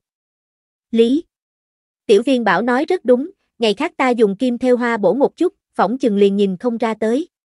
Chân thị cười to rộng gia tâm, nàng chính là có một tay hảo theo sống. Tam ca ngươi không cần sợ hãi, cũng không cần ấy nấy.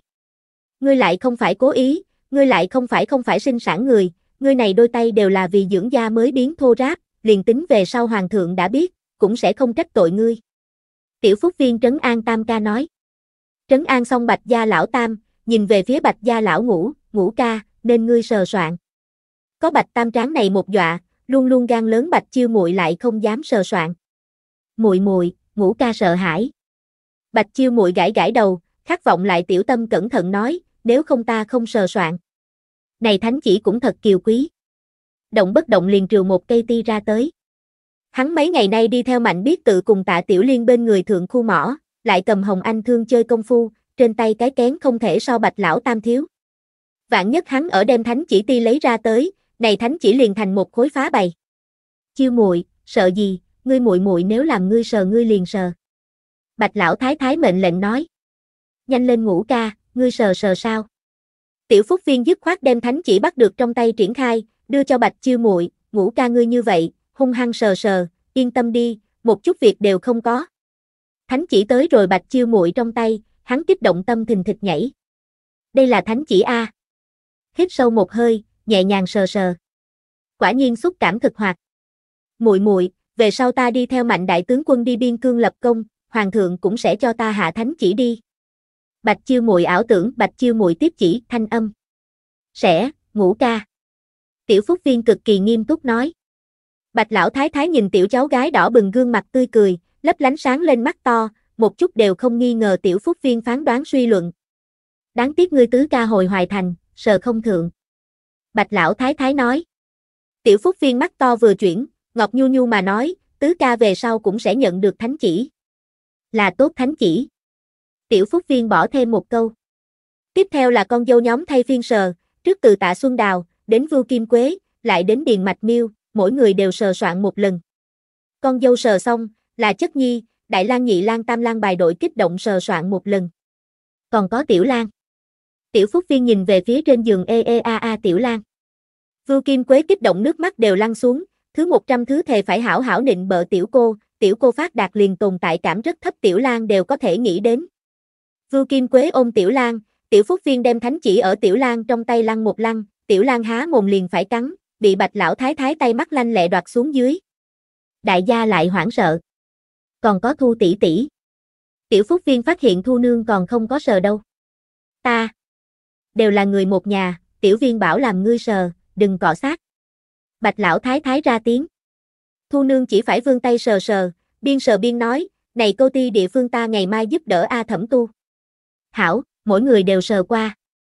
Lão nhị, hiện tại ngươi dạy đại gia niệm thánh chỉ thượng nói. Đại gia đêm nay không chỉ có muốn đi theo niệm, còn muốn bối xuống dưới. Bạch Mộc Bản nói. Bạch Lão Thái Thái rất là tán đồng, nói, trừ bỏ Tiểu Lan sẽ không nói, mỗi người muốn bối xuống dưới. Tiểu Phúc Viên. Không cần thiết như vậy long trọng đi. Này phía trên đều là hoàng thượng khen các ngươi muội muội lời hay, vì sao muốn bối xuống dưới đâu? Về sau ở bên ngoài người khác nếu là nói tiểu viên bảo nói bậy, các ngươi liền đem hoàng đế nói tạp đi ra ngoài, xem ai dám. Bạch lão thái thái vỗ vỗ bàn tay nói. Hảo, bối xuống dưới. Bạch đại tráng đầu tiên tỏ thái độ. Đã biết, nãy nãy. Bạch tam tráng nói.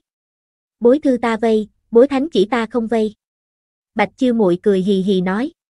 Nãy nãy, chúng ta cũng muốn bối. Mấy cái con dâu sôi nổi tỏ thái độ. Kia hành, bắt đầu đi, lão nhị. Bạch một bản vung tay lên.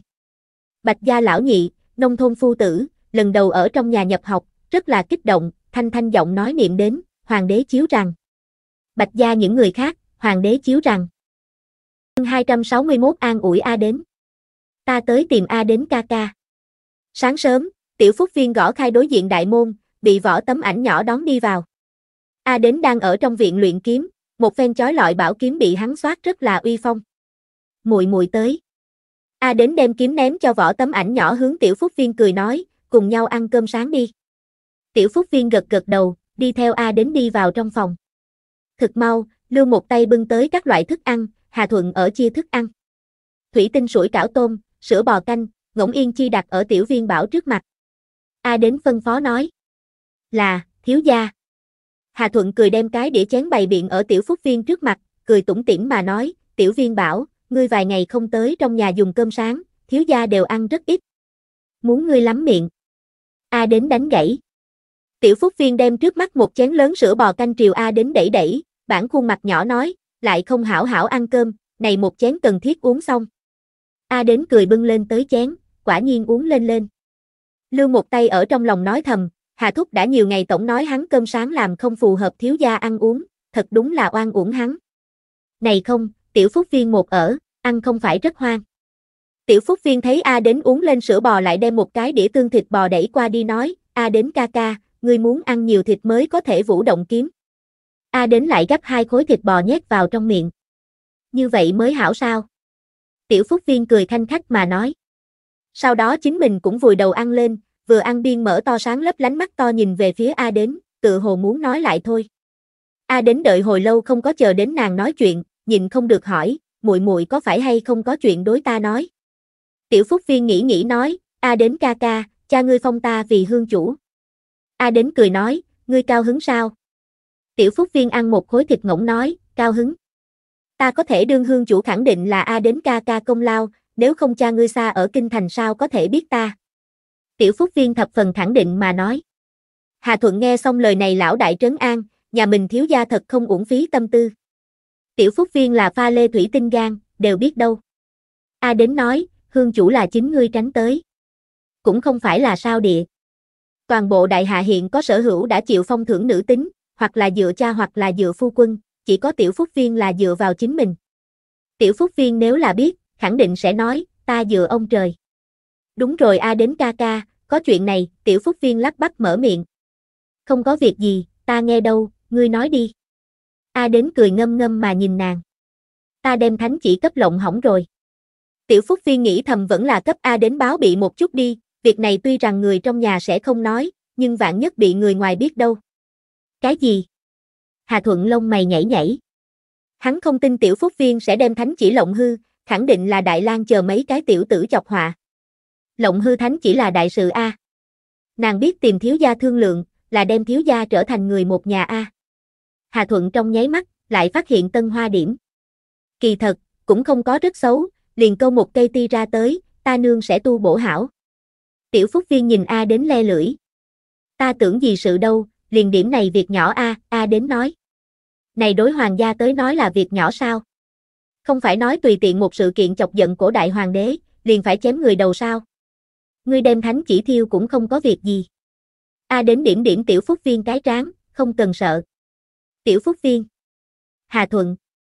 Thiếu gia lời này nói, vạn nhất truyền tới người có tâm lỗ tai, lại nhiều một cái bất kính tội danh. Ta đảo cũng sẽ không làm ra thiêu thánh chỉ sự. Tiểu Phúc Viên cười nói, đúng rồi, A đến ca ca, cha ngươi thích tùy tiện chém người đầu sao? A đến nghĩ nghĩ nói, đảo cũng không có như vậy tùy tiện. Tiểu Phúc Viên thở dài nói, ta nghe nói phía trước có cái bạo quân thích chém người đầu. Nàng lão nương người nhà đã bị bạo quân chém cái biến. Hà Thuận cười khổ, nhìn một cái cũng chỉ có này hai hài tử dám bác quái hoàng thượng. Cha ta. Ai? A đến nói chuyện khẩu khí, hắn nhớ rõ giờ, phụ hoàng đem hắn ôm ở trên đùi làm hắn kêu cha, sao lại? A đến ca ca ngươi là tưởng cha ngươi sao? Tiểu Phúc Viên hỏi. A đến ánh mắt ảm đạm đi xuống. Tiểu Phúc Viên cảm thấy giờ phút này A đến bị gợi lên chuyện thương tâm, nhất định phải an ủi an ủi hắn mới hảo. A đến ca ca, cha ngươi hiện tại nhất định rất nhớ ngươi, hắn thương ngươi mới làm ngươi ra kinh. Tiểu Phúc Viên vỗ vỗ A đến bả vai, đại nhân giống nhau ngữ khí, ngươi tự viết hảo, công phu chơi hảo, càng quan trọng là người lớn lên như vậy đẹp, cha ngươi khẳng định đau nhất ngươi. A đến đôi mắt dần dần sáng lên tới, khóe miệng mang theo cười, theo bản năng hỏi, thật vậy chăng? Tiểu Phúc Viên chém đinh chặt sắt. Đương nhiên là thật sự. Không biết vì sao, người khác nói như vậy A đến không tin, nhưng Tiểu Phúc Viên nói như vậy, hắn thập phần nguyện ý tin tưởng. A đến tâm tình rất tốt, duỗi tay cầm một cái bánh bao thịt, hung hăng cắn một mồm to, quai hàm căng phình phình, đôi mắt đỏ. Hà Thuận nhịn không được xoa xoa đôi mắt.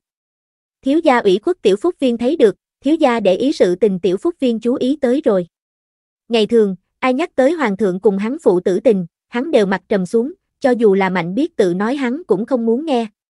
Không nghĩ tới, tiểu phúc viên giải khai thiếu gia khúc mắt. Hà Thuận hận không thể đem tiểu phúc viên cung lên. Bạch gia. Tiểu phúc viên cùng Phùng Chi Hành từng người ghé vào mọi người mẫu thân trong lòng ngực ngủ gà ngủ gật. Chân thị cùng Chu thị nhẹ nhàng câu được câu không nói chuyện nhi.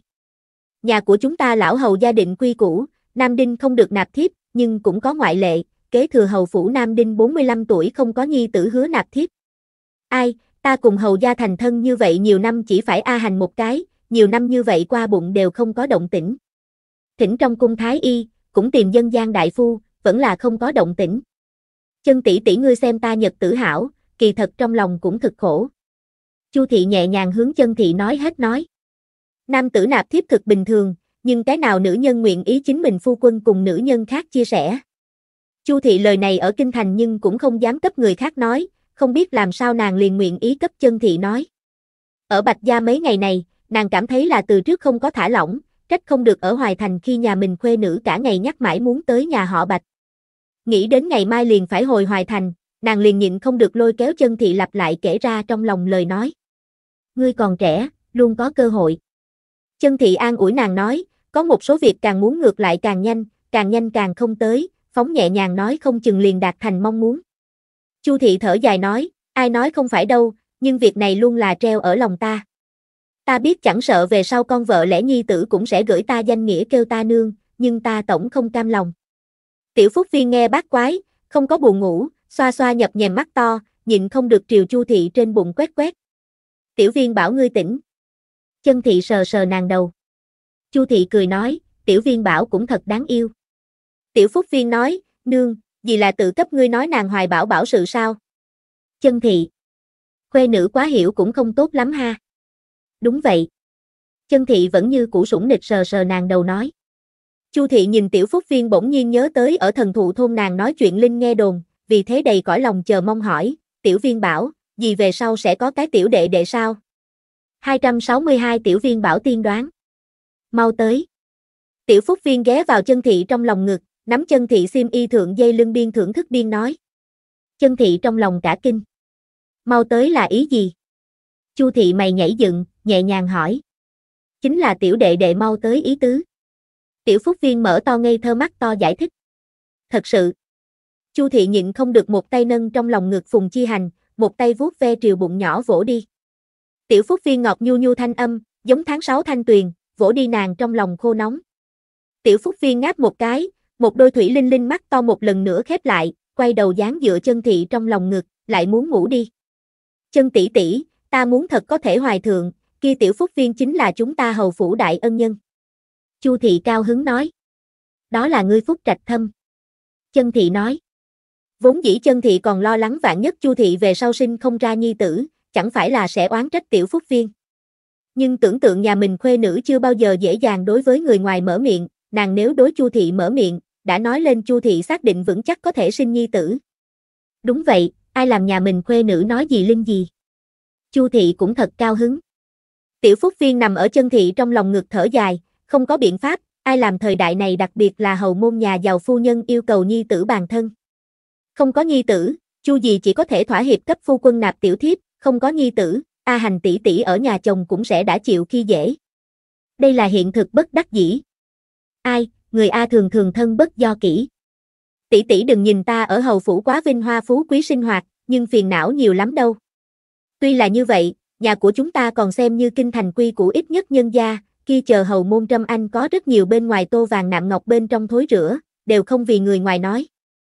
Chu thị tiếp tục đại phun nước đắng, ta nhưng thật ra hâm mộ tỷ tỷ ngươi, ở nông thôn quá cùng thế vô tranh nhật tử, nhi tử con dâu hiếu thuận, bà bà đối với ngươi cũng hảo, càng quan trọng ngươi còn có cái ngọc tuyết đáng yêu tiểu khuê nữ.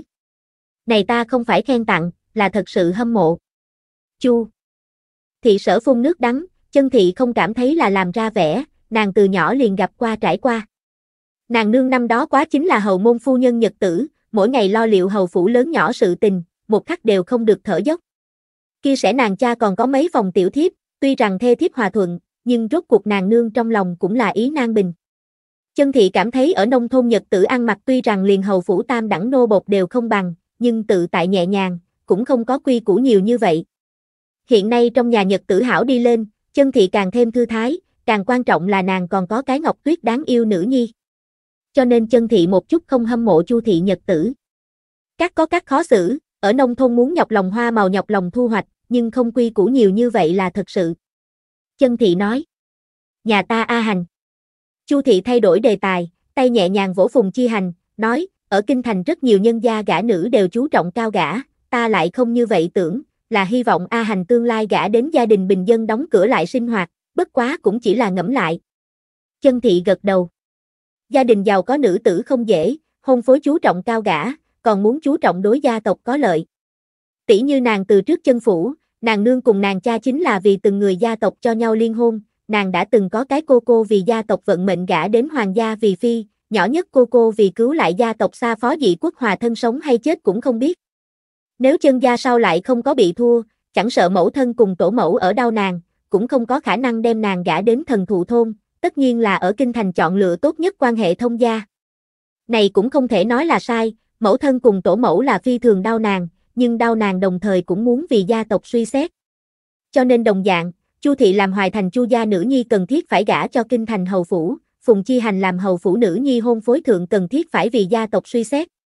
Phùng Chi Hành hoặc là gả cho mổ vị hoàng tử, hoặc là chân thị tâm tư bách chuyển thiên hồi. Cho nên ta chỉ hy vọng nhà ta tiểu viên bảo về sau tìm cái quê nhà phu quân quá thanh nhàn tiểu nhật tử. Chân thị cúi đầu nhìn ngủ say tiểu khuê nữ, không biết làm cái gì mộng đẹp, nồng đậm lông mi khẽ nhúc nhích, khóe miệng bỗng nhiên gợi lên một mặt cười. Chân thị tâm đều hòa tan. Nàng đời này không có bất luận cái gì tiếc nuối. Ngày hôm sau, Chu thị mang theo Phùng Chi Hành phải đi về. Chu gia phái tới xe ngựa, bởi vì lần trước Phùng Chi Hành bị quải, Phùng Duệ sợ thê nữ trên đường ra cái gì vấn đề, tự mình che chở các nàng trở về. Sáng sớm, Phùng Chi Hành liền đỏ vành mắt, lôi kéo Tiểu Phúc Viên tay không bỏ. A Hành tỷ tỷ, ngươi tùy thời có thể tới. Tiểu Phúc Viên an ủi nàng nói. Phùng Chi Hành khóc lợi hại hơn, ở Chu gia nàng muốn học quy củ liền đại môn đều không cho ra. Tới rồi cuối năm học xong quy củ, lại muốn vào kinh về nhà. Kinh thành khoảng cách thần thụ thôn như vậy xa, sao có thể nói đến là đến. Ta xem muội muội, ngươi nếu không đi Hoài Thành xem ta đi. Phùng Chi Hành khóc lóc nói, ngươi tứ ca cũng ở Hoài Thành. Tiểu Phúc Viên có thể tưởng tượng đi Hoài Thành mở rộng tầm mắt, chính là không biết vì sao, trong nhà rất không hy vọng nàng đi Hoài Thành. Lần trước đưa tứ ca đi Hoài Thành, nàng đem hết làm nũng thủ đoạn liền thiếu chút nữa khóc, luôn luôn yêu thương chính mình nải nải cùng cha mẹ lăng là không nhả ra. Nhưng tiểu phúc viên vẫn là cấp phùng chi hành họa bánh nướng lớn, a hành tỷ tỷ, ngươi yên tâm đi, ta sẽ đi hoài thành xem ngươi. Nghe nói tam ca thường xuyên đi hoài thành, đi ma một ma tứ ca còn có tứ tẩu bái. Thật sự. Phùng chi hành khục khịt hỏi. Thật sự. Tiểu phúc viên cấp phùng chi hành ngoéo tay. Bên này chu thị ở đối bạch lão thái thái nói cảm kích nói, bạch đại nương, cảm ơn ngài mấy ngày nay chiêu đãi. Ngài có thời gian đi theo chân tỷ tỷ đi hoài thành làm khách, chúng ta cuối năm liền phải trở lại kinh thành, đến lúc đó còn tưởng thỉnh ngài đi kinh thành đâu. Trong nhà đều là cơm canh đạm bạc, chiêu đãi không chu toàn còn thỉnh thông cảm. Bạch lão thái thái cũng là sẽ nói trường hợp lời nói, đến nỗi đi hoài thành cùng kinh thành còn lại là không cần thiết. Bạch lão thái thái cảm thấy này hai địa phương đều không phải gì hảo địa phương, một cái là tiểu phúc viên mất đi nương địa phương, một cái là chân thị cửa nát nhà tan địa phương. Đúng rồi, còn có một việc tưởng cho các ngươi thương lượng một chút. Chu thị nói, lại nhìn về phía tạ Xuân Đào, nhà ta hầu gia nghe nhị lang niệm thư, nói đứa nhỏ này đánh tiểu là có thể nhìn ra là khả tạo chi tài. Không biết các ngươi có nguyện ý hay không làm nhị lang cũng đi hoài thành niệm thư. Tạ Xuân Đào tâm tư động. Đương nương, cái nào không hy vọng chính mình hài tử có tiền đồ, muốn nói không hâm mộ bạch gia lão tứ ở hoài thủy thư viện niệm thư đó là giả. Nếu nhị lang có thể đi hoài thủy niệm thư không thể tốt hơn. Nhưng bạch gia không tới phiên nàng đương gia, vì thế nàng nhìn về phía bạch lão thái thái cùng chân thị. Cuối cùng ánh mắt vừa chuyển rơi xuống tiểu phúc viên trên người. Chỉ cần tiểu cô đáp ứng, nãi liền sẽ không phản đối đi. Đa tạ hầu gia cùng phu nhân tán thưởng, cũng cảm ơn các ngươi đối nhị lang yêu quý. Bạch lão thái thái thập phần khách khí, nhìn nhìn tạ Xuân Đào cùng bạch đại tráng nói, ta đáp ứng còn không được, nhị lang cha mẹ đáp ứng mới hảo. Tạ Xuân Đào vừa mừng vừa sợ, nàng không nghĩ tới bạch lão thái thái đáp ứng như vậy dứt khoát, vội không ngừng nói, nhị lang có thể đi hoài thành đọc sách quá hảo bất quá, nguyện ý, ta nguyện ý. Tiểu Phúc Viên nhìn đến đại tẩu khẩn trương ngữ không thành câu, cười. Nàng hiểu biết nhà mình nãi nãi, phàm là đối nhà họ Bạch quan diệu môn mi chuyện này, nàng cũng sẽ không kéo chân sau. Bạch Lão Thái Thái cùng Tạ Xuân Đào đồng ý, Bạch Đại Tráng liền không khả năng phản đối, hắn cũng cảm thấy nhà mình lão nhị đi hoài thành niệm thư tương đối hảo. Kia hành, chọn ngày chi bằng nhằm ngày, làm nhị lang hôm nay cùng chúng ta một đạo đi thôi.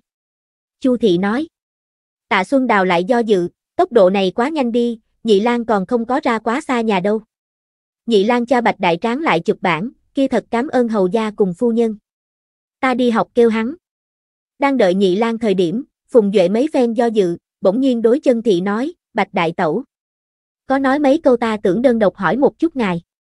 Chương 263 cố nhân là Hoàng Thái Hậu. Tới. Chân thị trong lòng bình tĩnh tưởng. Từ tiểu phúc viên ở trấn trên gặp được A đến, A đến ở đối diện mua tòa nhà, tiếp theo kinh thành tam phiên vài lần người tới, chân thị liền có dự cảm ngày này đã đến. Lại không có nghĩ đến, là Phùng Duệ tìm nàng hỏi chuyện. Chân thị sớm đã làm tốt chuẩn bị. Bạch gia những người khác đều đã biết chân thị thân thế, lúc này đều thực khẩn trương, Bạch lão thái thái thậm chí nói, hầu gia, ngài muốn hỏi con dâu của ta gì sự, hỏi ta. Phùng Duệ cười ngâm ngâm nói, Bạch nải nải, liền một chút việc nhỏ. Tiểu Phúc Viên nhìn nhìn chân thị, nhìn nhìn người trong nhà, đi qua đi lôi kéo Bạch lão thái thái tay nói, nải nải, không có việc gì, không có việc gì đát, tin tưởng Phùng thúc thúc. Bạch lão thái thái hơi thả lỏng, Bạch gia những người khác nghe được Tiểu Phúc Viên nói như vậy, không biết làm sao liền cảm thấy không phải gì đại sự. Không biết gì thời điểm bắt đầu, nho nhỏ Tiểu Phúc Viên nghiễm nhiên trở thành trong nhà người tâm phúc. Duy độc Bạch một bản ở lo lắng lão thê, chân thị cho Bạch một bản một cái tạm thời đừng nóng nảy ánh mắt, phòng nghĩ duỗi ra tay không có cảm xúc nói, hầu gia, thỉnh đi. Tới rồi buồn trong. Chân thị ngồi ở trên ghế, Phùng Duệ cái này hầu gia lại đứng. Chân thị một câu đều không có nói, nhìn Phùng Duệ. 30 năm trước trong kinh đã xảy ra một kiện khiếp sợ triều giả đại sự, trấn quốc công phủ cấu kết ngay lúc đó thái tử mưu phản bị xét nhà, toàn bộ nam đinh bị chém đầu, nữ quyến hoàn toàn đi vào giáo phường tư. Trong nhà nữ quyến bất kham chịu nhục ở hậu thẩm thời điểm toàn bộ cắn lưỡi tự sát, lúc ấy trấn quốc hầu phủ hầu gia có một đích nữ không biết tung tích, Phùng Duệ nhìn chầm chầm chân thị, nói lên 30 năm trước phát sinh ở chân phủ đại sự. Chân thị ngón tay ở trong tay áo rung nhẹ nhẹ, sắc mặt lại rất bình tĩnh không gợn sóng, thanh âm cũng thực bằng phẳng, nói, không biết tung tích người là ta. Phùng Duệ đầu óc một tạc, biểu tình rất là kích động. Nói vậy hầu gia hỏi ta lời nói, cũng đã biết ta là ai. Chân thị nói. Giống hầu phủ một khi đối nàng có điều hoài nghi, nhất định sẽ tra nàng, tra một người đối với hầu phủ tới nói quá dễ dàng bất quá. Chân. Tỷ tỷ, Phùng Duệ kích động mà mở miệng, tuy rằng hắn đã xác định chân thị thân phận, nhưng từ chân thị trong miệng được đến khẳng định đáp án vẫn như cũ thực kích động, chân tỷ tỷ không nghi ngờ ta mục đích, đối ta nói thẳng ra. Chân thị cười nói, sẽ không. Bởi vì Phùng Anh Nhi tử đoạn không phải là người như vậy. Phùng Duệ nghe được chân thị nói như vậy, nhưng thật ra lau mắt mà nhìn. Ta tìm ngài, là đã chịu kinh thành cố nhân gửi gắm. Phùng Duệ cùng chân thị nói chuyện đã qua đi thật lâu. Bạch người nhà tâm lại lần nữa từ bình tĩnh chuyển vì treo trạng thái. Bạch lão thái thái còn lại là khẩn trương ngẩng đầu xem bầu trời. Bạch đại nương ngài yên tâm, nhà ta hầu gia tìm chân tỷ tỷ chỉ là đơn giản hỏi câu nói. Chu thị nhẹ giọng trấn an Bạch lão thái thái. Phùng Duệ ở điều tra chân thị quá khứ việc này, nàng biết. Bạch một bản vì giảm bớt khẩn trương cảm xúc, đem tiểu phúc viên ôm lên. Cha, không có việc gì. Tiểu phúc viên nhẹ nhàng an ủi lão cha. Bạch đại tráng đem nhị lan từ học nắm về nhà, không biết Phùng Duệ ở cùng lão nương nói chuyện. Nhìn đến trong nhà nặng nề không khí, còn tưởng rằng đại gia không tha nhị lan đi hoài thành, biết được chính mình cùng tứ thúc giống nhau có thể đi hoài thành đọc sách nhị lan vốn dĩ thật cao hứng nhìn đến đại gia như vậy không tha hắn cũng đỏ vành mắt. Biết chân tướng nhị lan, chung quy là trao sai người. Lại qua một chén trà nhỏ công phu, chân thị ra tới, trừ bỏ vành mắt hồng hồng, hết thảy đều thực bình tĩnh. Phùng Duệ tắt biểu tình rất là kích động. Tuy rằng bạch người nhà trong lòng rất tưởng biết Phùng Duệ cùng chân thị rốt cuộc nói gì đó sự, nhưng e ngại Phùng Duệ cùng Chu thị ở đây ngược lại không hảo trực tiếp hỏi. Hầu gia liền hỏi ta nói mấy câu. Chân thị một câu liền đem đại gia đuổi rồi. Nhị Lan đã trở lại, Xuân Đào ngươi cấp Nhị Lan thu thập đồ vật, đừng chậm trễ hầu gia cùng phu nhân ngựa xe thời gian. Bạch lão thái thái lại bắt đầu phát huy trong nhà người tâm phúc địa vị, dù sao chờ bọn họ đi rồi hỏi lại chân thị cũng không muộn, nhìn dáng vẻ không gì sự, vậy không cần thiết vội vã biết. Tốt, nải nải. Tạ Xuân Đào đáp ứng một tiếng, chui vào trong phòng cấp nhị lang thu thập quần áo, thu nương đi vào đi giúp đỡ cùng nhau thu. Vưu Kim Quế lại bắt đầu tân một vòng tâm ngạnh, nếu là đi hoài thành niệm thư chính là Tam lang thì tốt rồi, sao nại chính mình gia Tam lang không biết cố gắng chỉ nghĩ đương cái an tĩnh đầu bếp. Nhị lang chân của ngươi có thể thật nhiều mệt ngươi tiểu cô cô, ngươi có thể đi hoài thành niệm thư cũng ít nhiều ngươi tiểu cô cô, ngươi tới rồi hoài thành sẽ như thế nào làm? Ở người trong nhà trước mặt, bạch lão thái thái sụ mặt hỏi nhị lan. Nhị lan nhìn tiểu phúc viên nói, ta tới rồi hoài thành sẽ hảo hảo niệm thư, về sau vào kinh khảo trạng nguyên, cấp tiểu cô cô chống lưng. Tiểu phúc viên. Nhị lan ăn mặc một thân áo vải thô, nhưng giấu không được thiếu niên quan hoa, lớn lên một chút không thua kém với A đến. Tiểu phúc viên cảm thán, nhị lan A nhị lan ngươi không đảm đương nổi trạng nguyên, bởi vì ngươi mặc là thám hoa mặt. Nhị lan nói nói đỏ vành mắt, tưởng tượng đến phải rời khỏi tiểu cô cô, trong lòng khó chịu. Nhị Lan, ngươi tới rồi hoài thành hảo hảo niệm thư, cô cô sẽ tưởng ngươi. Tiểu Phúc Viên lặng lẽ nói, sau đó chạy vào nhà lấy ra chính mình bọc nhỏ, móc ra mấy khối bạc đưa cho Nhị Lan, không cần khắc khe chính mình, mua đồ ăn ngon. Này tiền là trong nhà cấp Tiểu Phúc Viên bạc. Tiểu cô cô, ta không cần. Nhị Lan thực hiểu chuyện nói. Bạch lão thái thái lên tiếng nói, ngươi tiểu cô cô cho ngươi, ngươi liền cầm. Ngươi phải nhớ kỹ ngươi tiểu cô cô hảo, về sau kiếm đồng tiền lớn trả lại cho ngươi cô cô. Nhị Lan tiếp nhận bạc, hồng vành mắt gật đầu. Chu thị tránh đi người lôi kéo chân thị tay, nhẹ nhàng nói, chân tỷ tỷ, nghe hầu gia nói nàng lão nhân gia ngày đêm nhớ thương ngươi đâu, biết được ngươi ở trong thôn sinh hoạt đau lòng rớt nước mắt, ngươi nếu không vào kinh đi cùng nàng lão nhân gia thấy một mặt. Chân thị nói, biết nàng còn sống, ta cũng hiểu rõ một cọc tâm tư. Có thấy hay không lại như thế nào đâu, muội muội cuối năm hồi kinh nhìn thấy nàng, liền cho nàng mang cái lời nói, nói ta sống thực hảo. Có con trai con gái, bà bà hảo, phu quân cũng hảo, trong nhà có điền ăn cơm không lo, so sánh với những cái đó chết người, ta đã thực thỏa mãn. Chu thị tâm tình lại là đau lòng lại là phức tạp. Trấn quốc công phủ đại tiểu thư biến thành thôn phụ, đổi làm ai đều sẽ không cam lòng đi, nhưng chân thị nói không có một chút không cam lòng ý tứ. Dù sao ta sẽ không lại vào kinh thành. Chân thị nói. Thực xe tốc hành phu bộ hảo xe ngựa, phùng gia người bắt đầu khởi hành đi hoài thành. Phùng chi hành vốn dĩ đỏ vành mắt, nhưng bởi vì có nhị lan cùng đi, nàng tâm tình bỗng nhiên biến hảo, lôi kéo nhị lan tay kỹ kỹ oa oa nói cái không ngừng. Tiễn đi phùng gia người sau, bạch người nhà đóng cửa lại, gấp không chờ nổi hỏi chân thị cùng phùng duệ đều nói gì. Nói là chịu cố nhân gửi gắm tiền ta. Cố nhân là ta đi hòa thân tiểu cô cô, nàng không có chết, hòa thân ngựa xe ở biên cảnh gặp được ám sát tiểu cô cô mất tích, bị biên quan đóng giữ cảnh vương cứu. Sau lại đương cảnh vương phi, chân thị nói. Cảnh vương. Bạch lão thái thái cùng bạch một bản đối tên này không xa lạ, năm đó hoàng đế thô bạo sủng tính gian thần, dân chúng lầm than, thiên hạ đại loạn. Cảnh vương từ biên cảnh tập kết mấy chục vạn đại quân vào kinh cần vương diệt trừ gian thần, cuối cùng bức hoàng đế thoái vị hắn bước lên đại bảo. Cũng chính là hiện nay dân gian tán dương yêu dân như con hảo hoàng đế. Cảnh vương đăng cơ khi bạch đại tráng bọn họ tuổi còn nhỏ, đều không nhớ rõ việc này. Khi ta cô nải nải này, hiện tại như thế nào? Còn ở biên quan. Bạch đại tráng vẽ mặt thành thật hỏi. Nàng hiện tại là đương kim hoàng thái hậu. Chân thị nói. Chương 264 nhà họ Bạch là hoàng thân quốc thích. Ha, hoàng thái hậu. Chân thị năm đó bị đưa đi hòa thân cô mẫu thế nhưng là đương kim hoàng thái hậu. Liền nói ai biết sao không kinh ngạc. Lão nương bối cảnh cũng thật không bình thường a. Tiểu Phúc Viên một đôi sáng lấp lánh mắt to nhìn về phía chân thị, chân thị thuận thế xoa xoa Tiểu Phúc Viên đầu nhỏ. Nói cách khác, nhà họ Bạch là thuộc về hoàng thân quốc thích. Hoàng Thái Hậu, không phải nói đương kim Thái Hậu là nông gia nữ xuất thân sao? Tạ Xuân Đào khiếp sợ qua đi nói ra đại gia nghi vấn. Tuy rằng Hoàng Thái Hậu khoảng cách thần thụ thôn thực xa xôi, nhưng mọi người đều nghe qua đương kim Thái Hậu uy danh. Xuất thân biên cảnh nông gia, tiên hoàng vẫn là hoàng tử khi bị Hoàng Thái Hậu cứu, cùng tiên hoàng tình thâm như biển bị tiên hoàng lực bài chúng nghị nạp vì chính phi, phụ trợ tiên hoàng từ biên cảnh đi bước một bước lên đại bảo, nàng yêu dân như con thường xuyên tự mình đến dân gian đồng ruộng hai đầu bờ ruộng cửa hàng quán rượu kiểm tra thực hư dân tình, tiên hoàng tấn thiên hậu, nàng nâng đỡ ấu chủ mười dư tái. Cơ hồ mỗi nhà trà lâu quán rượu người kể chuyện, đều nói qua hoàng thái hậu chuyện xưa. Này đây, toàn bộ thiên hạ đều cho rằng hoàng thái hậu chính là chuyện xưa nông gia nữ, nhà họ bạch người cũng không ngoại lệ. Chân thị khẽ cười một tiếng, nói, cô cô năm đó bị phong công chúa thế chân chính công chúa đi hòa thân, ở pháp lý thượng cùng tiên hoàng thuộc về huynh muội, hơn nữa chân phủ là phản tặc, thân phận của nàng tự nhiên không thể bại lộ. Lúc ấy Phùng Duệ nói cho chân thị đương triều Thái hậu chính là cô mẫu khi, nàng cũng có trong nháy mắt hoài nghi. Phùng Duệ mang đến cô cô tính vật, năm đó chân phủ mỗi một cái nữ hài nhi đều có kim vòng cổ.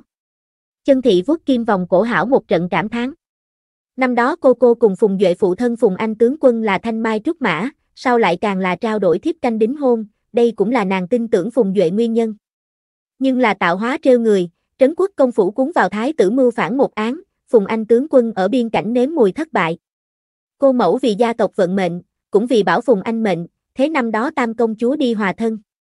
Sau lại cô mẫu ở biên cảnh bị ám sát mất tích, tiếp theo chân phủ bị xét nhà. Chuyện của nghĩ lại mà kinh. Ta ông trời, nhà ta cô nải nải thế nhưng là đương kim hoàng thái hậu. Vưu Kim Quế khiếp sợ qua đi, trong lòng mạng quá vui sướng. Trong nhà cô nải nải là hoàng thái hậu, kia bọn họ nhà họ Bạch chẳng phải là hoàng thân quốc thích, tám ngày phú quý sinh hoạt liền ở trước mắt, Vưu Kim Quế hận không thể lập tức đi ra ngoài tuyên dương một phen. Chân thị nhìn ra Vưu Kim Quế ý đồ, nhìn nàng một cái, không mặn không nhạt nói, việc này không cần tuyên dương đi ra ngoài. Bạch đại tráng đám người đáp ứng rồi. Vưu Kim Quế trong lòng tiếc nuối, nhưng vì lấy lòng bà bà giơ tay thề, nương, yên tâm đi, sẽ không. Ngươi cô mẫu hiện tại biết được tin tức của ngươi, nàng là tưởng nhận thân vẫn là. Bạch lão thái thái chần chờ hỏi. Sẽ không làm con dâu ném xuống này cả gia đình vào kinh đi. Cũng có thể lý giải, rốt cuộc năm đó chân thị là chân phủ đại tiểu thư, bạch một bản chỉ là ở nông thôn giả tiểu tử, vốn dĩ liền vân bùng có khác, nếu không phải chân phủ bị thua, nhà họ bạch căn bản liền trèo không tới chân thị như vậy con dâu. Nhưng Hoàng Thái Hậu thật làm chân thị ném xuống này cả gia đình già trẻ vào kinh, bạch lão thái thái trong lòng cũng không vui. Phùng Duệ xác thật nói như vậy, hy vọng ta vào kinh. Ta nhưng nói tốt, ngươi hiện tại không phải chân phủ đại tiểu thư, ngươi là bạch gia tức phụ. Ngươi nếu là vào kinh, ngươi có thể ném xuống ta cái này lão bà tử, cũng có thể ném xuống con ta, nhưng tiểu viên bảo cùng mấy cái tôn nhi ngươi đến mang lên kéo rút. Bạch lão thái thái cứng rắn mà đánh gãy chân thị nói. Chân thị vào kinh cũng đúng, nhưng cần thiết muốn mang lên tiểu cháu gái cùng con cháu nhóm, nàng đã già rồi không sao cả ở nơi nào, nhưng tiểu cháu gái cùng con cháu nhóm tới rồi kinh thành hưởng hưởng phúc vẫn là có thể. Chân thị nghe bạch lão thái thái như vậy vừa nói, nhịn không được cười nói, nương, nhìn ngài nói, ta đến bạch gia như vậy nhiều năm nếu không phải ngài che chở ta, ta nào có hiện tại ngày lành quá. Ta đã cự tuyệt phùng duệ, ta nói biết cô mẫu còn khỏe mạnh ta đã an tâm, khác không làm hắn tưởng. Ta sao có thể ném xuống ngài cùng đại tráng cha cùng với này cả gia đình đi kinh thành. Chính là, nương ngài cũng không nghĩ ngài con dâu là gì dạng người. Bạch một bản giữ gìn chân thị, nghĩ nghĩ cùng chân thị nói, mẹ hắn, ngươi nếu là thật muốn đi gặp ở kinh thành ngươi cô mẫu ta duy trì ngươi đi. Chân thị cười khẽ lắc đầu. Vưu Kim Quế vốn dĩ biết được bà bà là hoàng thân quốc thích trong lòng kích động thực, trong lòng ảo tưởng bà bà mang theo toàn gia đi kinh thành hưởng phúc, không nghĩ tới hảo hảo quan hệ lại phóng không cần, trong lòng chỉ mắng chân thị ngốc. Chẳng trách nhà họ bạch nghèo như vậy nhiều năm, tốt như vậy đùi duỗi đến trước mắt đều không đi ôm, xứng đáng gặp cảnh khốn cùng. Nương, ta cảm thấy cha nói rất đúng. Nhân gia hoàng thái hậu cái gì thân phận, còn vẫn luôn nhớ thương ngài đâu, theo lý thuyết ngài nên tự mình đi nhìn xem nàng lão nhân gia mới không uổng công nàng nhớ thương ngài một hồi. Vưu Kim Quế cổ động chân thị nói. Chân thị biết lão nhị tức phụ tâm tư, lại không nói ra, nói, xem không xem có cái gì quan trọng, ta lại không cầu làm quan làm tể, lại không cầu vinh hoa phú quý. Không phải A Nương, ngài không vì tự mình suy xét, ngài cũng đến vì tiểu cô suy xét suy xét đi. Giống ta tiểu cô loại nhân phẩm này bộ dạng, ở chúng ta này. Hương giả không thiếu được mai một, tới rồi kinh thành có thái hậu nàng lão nhân gia che chở, hơn nữa tiểu cô lại là hương quân, kia về sau ai cũng không dám khi dễ nàng. Vưu Kim Quế lấy tiểu phúc viên ý đồ thuyết phục chân thị, kia phùng chi hành còn không bằng tiểu cô đâu, còn không phải bởi vì có cái hảo gia thế mới nơi chống bị người phủng về sau tìm đối tượng khẳng định cũng kém không được. Chân thị quét Vưu Kim Quế liếc mắt một cái, Vưu Kim Quế lập tức im tiếng. Nhưng lời này lại làm bạch lão thái thái động tâm tư. Nàng thường thường huyền tâm thẩm phủ vạn nhất biết được tiểu phúc viên thân thế, sợ thẩm phủ như phu nhân đối tiểu phúc viên bất lợi, nếu như đi kinh thành có thái hậu lão nhân gia chống lưng, mượn nàng 10 cái gan cũng không dám. Bạch lão thái thái nhìn về phía tiểu phúc viên như suy tư gì. Tiểu phúc viên mở to ngây thơ mắt to, Ngọc Nhu Nhu nói, ta muốn cùng nải nải, cha mẹ, các ca ca tẩu tẩu nhóm ở bên nhau, ta nơi nào đều không đi.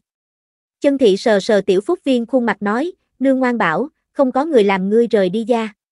Ngươi muội muội nơi đó biết không? Bạch lão thái thái nhớ tới việc này hỏi. Chân thị lắc đầu, nói, tạm thời còn không biết. Nếu là muội muội đã biết, phỏng chừng lập tức hận không thể thu thập đồ vật vào kinh. Chân thị cùng muội muội không giống nhau, nàng là thật sự cảm thấy ở thần thụ thôn nhật tử thực bình đạm hạnh phúc, nàng một chút không nghĩ kéo gia mang nữ vào kinh, hơn nữa cảm thấy nhà họ Bạch vẫn luôn là nông dân, tới rồi kinh thành ngược lại không thích ứng. Cô mẫu là hoàng thái hậu đại gia trong lòng rõ ràng là được, đừng đi ra ngoài ồn ào, cũng đừng lấy hoàng thân quốc thích tự cho mình là. Chúng ta đều là nông dân, liền quá nông dân nhật tử. Khi kinh thành nhà cao cửa rộng nhật tử, không phải như vậy hảo quá. Chân thị đôi mắt quét về phía con cháu nhóm. Nàng liền sợ đại gia biết được nhà mình cùng hoàng gia có thiên ti vạn lũ quan hệ, sinh ra không nên có ý niệm, một khi có không nên có ý niệm, người liền dễ dàng phạm sai lầm. Cần thiết trước tiên gõ gõ. Nương, yên tâm đi, Thái hậu nàng lão nhân gia cùng ta sinh hoạt không quan hệ, ta nên sao quá sao quá. Bạch Đại Tráng nói. Đúng vậy, ta đây liền cấp nghe truyền kỳ chuyện xưa giống nhau, không ảnh hưởng ta trồng trọt làm việc. Tạ Xuân Đào cảm thấy Hoàng Thái Hậu cùng kinh thành đó là cách xa vạn dặm khoảng cách, trừ bỏ ngay từ đầu ở trong lòng sinh ra gợn sóng, qua đi là một chút bọt nước đều không có. Ta, ta cùng đại tẩu tưởng giống nhau. Vưu Kim Quế ngữ khí mang theo ti ủy khuất, nàng cảm thấy chân thị nói như vậy trọng điểm ở gõ nàng. Nương, ta cũng nghe ngươi nói, hảo hảo sinh hoạt. Tiểu Phúc Viên hôn hôn chân thị cái trán, ngọt ngào nói. Chương 265 chế tác khẩu trang. Đương kim hoàng thái hậu là chân thị cô mẫu, nhà họ Bạch mọi người trừ bỏ lúc ban đầu biết khi khiếp sợ, qua đi cũng không có sinh ra bất luận cái gì sinh hoạt thượng cùng tâm thái thượng thay đổi. Toàn gia vẫn như cũ cần cù chăm chỉ thành thành thật thật sinh hoạt. Ngược lại là đối diện Hà Thuận lại đối thượng chân thị khi, so từ trước càng cung kính. Trong lúc này Thái hậu bên người tới tuyên chỉ Hồng Công Công lại tới nửa một chuyến. Chân thị cùng hắn ở trong nhà mật đàm một phen, cụ thể đàm luận nội dung bạch người nhà không thể hiểu hết, tóm lại kia lúc sau kinh thành Thái hậu bên người người không có lại đến nhà họ bạch, bạch người nhà sinh hoạt một lần nữa khôi phục bình tĩnh. Buổi tối nghỉ tạm khi, bạch một bản chân thị hai vợ chồng tâm sự. Mẹ hắn, ta còn nhớ rõ ngươi cô mẫu đâu. Khi đó ta đi các ngươi trong phủ tạ ơn, ngươi cô mẫu làm nha hoàng tẩy quả tử cho ta ăn. Bạch một bản nói, ai thành tưởng thế nhưng thành đương kim thái hậu. Chân thị thở dài nói, ai nói không phải đâu. Từ trước ở trong nhà khi, ta nương cùng nàng quan hệ cực hảo, nàng cũng phi thường đau ta. Cha hắn, nói thật, ta rất vì nàng cảm thấy cao hứng, cô mẫu ở khuê trung khi liền không giống giống nhau khuê các nữ tử, nàng sát phạt quả quyết có dũng có mưu, ta tổ phụ đều nói nàng so với ta cha còn lợi hại. Chính là không biết nàng này một đường ăn nhiều ít khổ mới đi đến Thái hậu vị trí, chân thị nói. Mẹ hắn, kỳ thật ngươi trong lòng là muốn gặp nàng có phải hay không, ngươi nếu muốn gặp nàng, ta đi kinh thành, ta bồi ngươi đi. Trong nhà ngươi đều không cần lo lắng, bọn nhỏ cũng đều lớn, chúng ta chỉ mang khuê nữ đi. Bạch Mộc Bản nói. Ngươi biết ta vì sao không đi gặp ở kinh thành cô mẫu. Vì sao nha? Ta không đi tự nhiên có không đi đạo lý. Gần nhất, ngươi xem cách vách A đến vì sao tới chúng ta nơi này.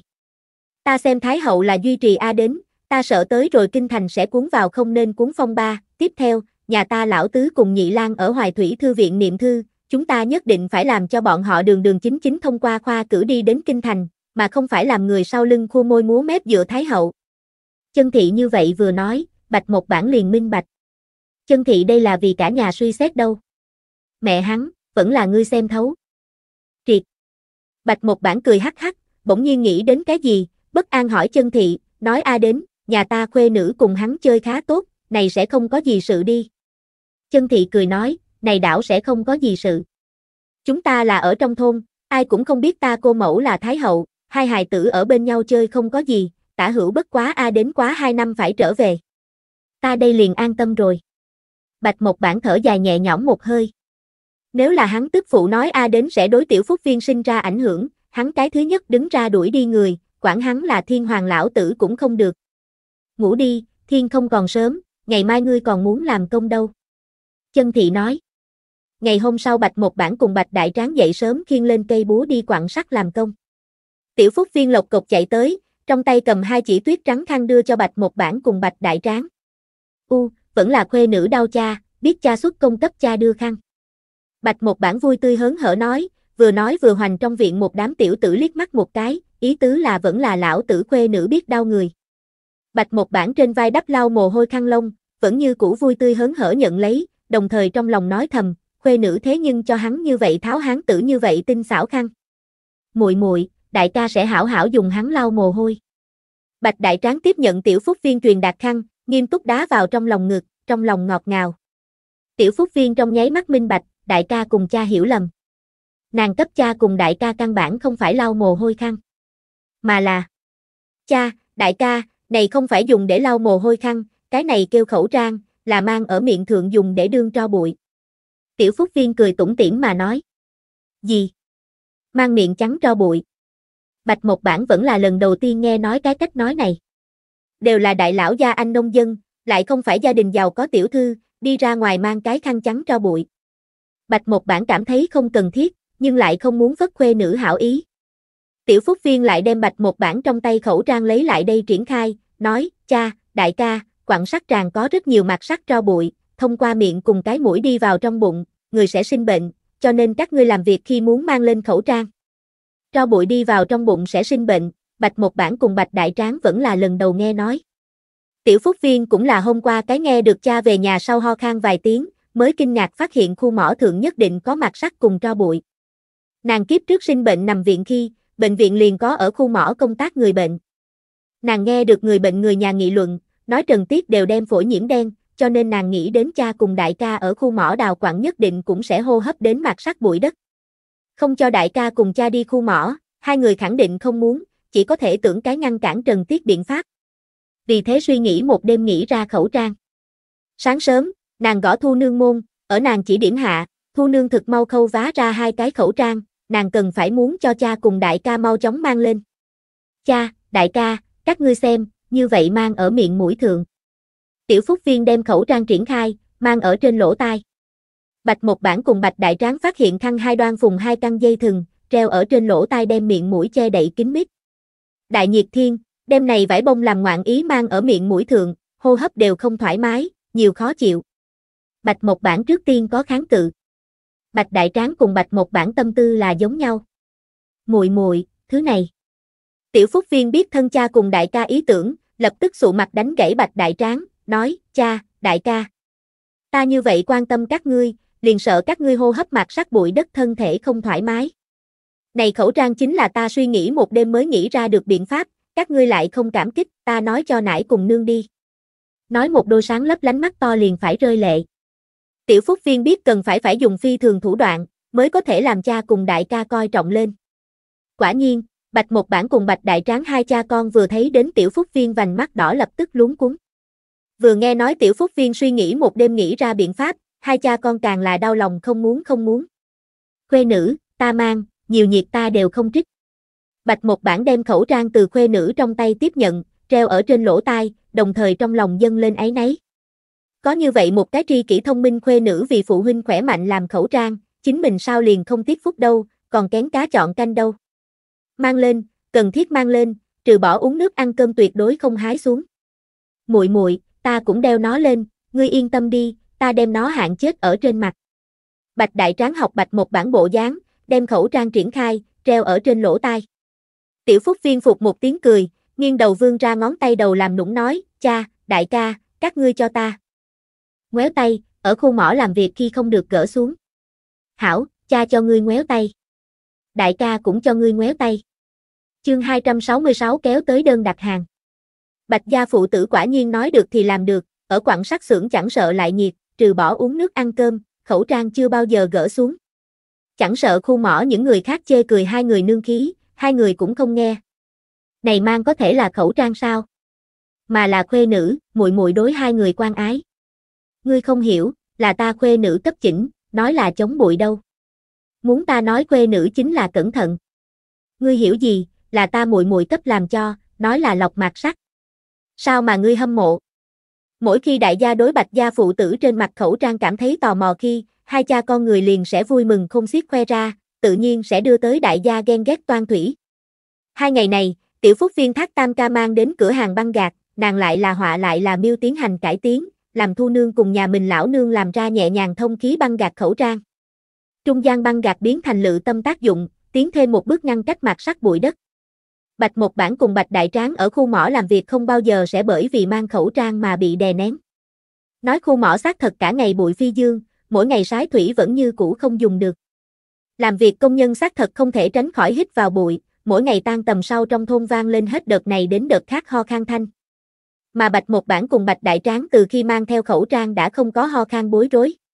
Trương Thái Y cùng Ngô Lan Trung hai người mỗi ngày ngao khư đàm chén thuốc sách đến khu mỏ, làm làm việc thôn dân uống xong, càng là mỗi ngày phái phát heo huyết làm mọi nhà hầm cấp khu mỏ làm công người ăn, nói là hóa trần trừ tiết. Trương Thái Y đi trên núi đưa dược khi nhìn đến Bạch một bản cùng Bạch Đại Tráng mang khẩu trang thực đặc biệt. Không bị đè nén, hô hấp như thường, lại có thể lọc rớt mặt sắc cho bụi, toàn khu mỏ người chỉ có này hai người không ho khan. Bạch Đại ca ngươi sao nghĩ ra được này phương pháp? Trương Thái Y rất là kích động, nắm Bạch Đại Tráng hỏi cái không ngừng. Hắn nhớ tới ngộ tác ở nghiệm thi khi vì phòng ngừa thi xú truyền bá bệnh khuẩn, đều sẽ dùng vải thô che lại miệng mũi. Cùng lý, vì không cho mạt sắc bụi đất hô hấp tiếng phổi, giống nhau có thể áp dụng ngộ tác nghiệm thi phương pháp.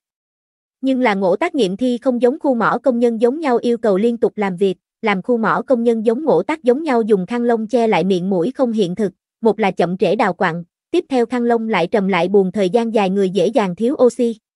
So sánh, Bạch gia phụ tử mang mặt nạ bảo hộ lại khinh bạc thông khí, thả cách trở mặt sắc bụi đất. Ta nào có cái kia bản lĩnh nghĩ ra được này biện pháp. Bạch đại tráng vẫy vẫy tay, vẻ mặt kiêu ngạo nói, là ta muội muội nghĩ ra được biện pháp. Sau đó móc ra trong lòng ngực tân khẩu trang cấp Trương Thái Y khoe khoang, ta muội muội nói nửa ngày đổi một cái. Trương Thái Y tiếp nhận Bạch Đại Tráng Tân móc ra tới khẩu trang, cầm ở trong tay tinh tế quan sát. Vừa nghe đến là tiểu phúc viên nghĩ ra được biện pháp, Trương Thái Y kích động thực, buộc miệng thốt ra, quả thực. Này phương pháp quả nhiên kỳ diệu a, bên ngoài là một khối bố, bên trong lót thượng lọc dùng băng gạc, sau đó bàn thượng dây thường hệ ở trên lỗ tai, lại nhẹ nhàng lại không chậm trễ làm việc. Diệu a diệu a. Ý gì? Bạch đại tráng không cao hứng. Cũng dám nghi ngờ nhà mình muội tử. Trương Thái Y ngươi lời này ta không thích nghe, cái gì kêu quả thực, ta muội muội như vậy thông minh, cái gì không nghĩ ra được. Bạch đại tráng không chút khách khí nói. Trương Thái Y vội vàng giải thích nói, ta không phải cái kia ý tứ. Ngươi nghi ngờ ta muội muội thông minh. Bạch Đại Tráng không chút khách khí từ Trương Thái Y trong tay cướp đi khẩu trang, vốn dĩ tưởng đưa cho hắn một cái, xem ra không xứng. Trương Thái Y Trương Thái Y tuy rằng bị Bạch Đại Tráng dỗi một đốn, nhưng trong lòng vẫn như cũ thập phần hưng phấn, hắn cảm thấy có thể hướng toàn thôn mở rộng khẩu trang, như vậy mỗi cái ở khu mỏ làm việc người liền không cần đã chịu mặt sắc bụi đất quấy nhiễu. Vì thế đi vào nhà họ Bạch, tự mình tìm tiểu phúc viên nói khẩu trang sự tình. Tiểu viên bảo nghĩ như thế nào ra tới đâu? Trương Thái Y hỏi. Chính là tùy tiện tưởng A. Tiểu phúc viên đương nhiên không có khả năng nói là ở bệnh viện nhìn đến. Cũng may chân thị cấp tiểu phúc viên giải vây, cười nói, ngày thường không có việc gì cầm bố theo thùa chơi, tiểu hài tử đầu óc sống, liền phùng thành khẩu trang, nàng cha cùng hắn ca mang lên vừa lúc, thuộc về chó ngáp phải rồi.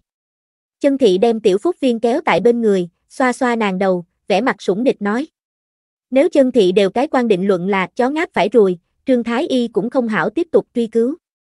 Rốt cuộc tiểu phúc viên chỉnh xuất khẩu tráo, cũng không có tránh người khác. Tiểu viên bảo chó ngáp phải rồi chính là giải. Quyết rớt một nan đề, ngài biết khu mỏ thượng mặt sắc bụi đất hít vào phổi người dễ dàng sinh bệnh, ta phía trước ở y án thượng liền gặp qua một ít mỏ than công nhân phổi bộ chồng chất môi tiết sống sờ sờ nghẹn chết. Cái này khẩu trang đừng nhìn nó tiểu, khởi tác dụng lớn, bên trong băng gạc có thể thực tốt ngăn cản mặt sắc bụi đất. Trương Thái Y nhìn tiểu phúc viên, đầy mặt kích động, nhiều tới mấy cái chó ngáp phải rùi đi. Không biết tiểu viên bảo phát minh cái này khẩu trang có thể hay không nói cho người khác, làm chúng ta trong thôn đi quặng sắt làm công người đều mang lên. Trương Thái Y hỏi.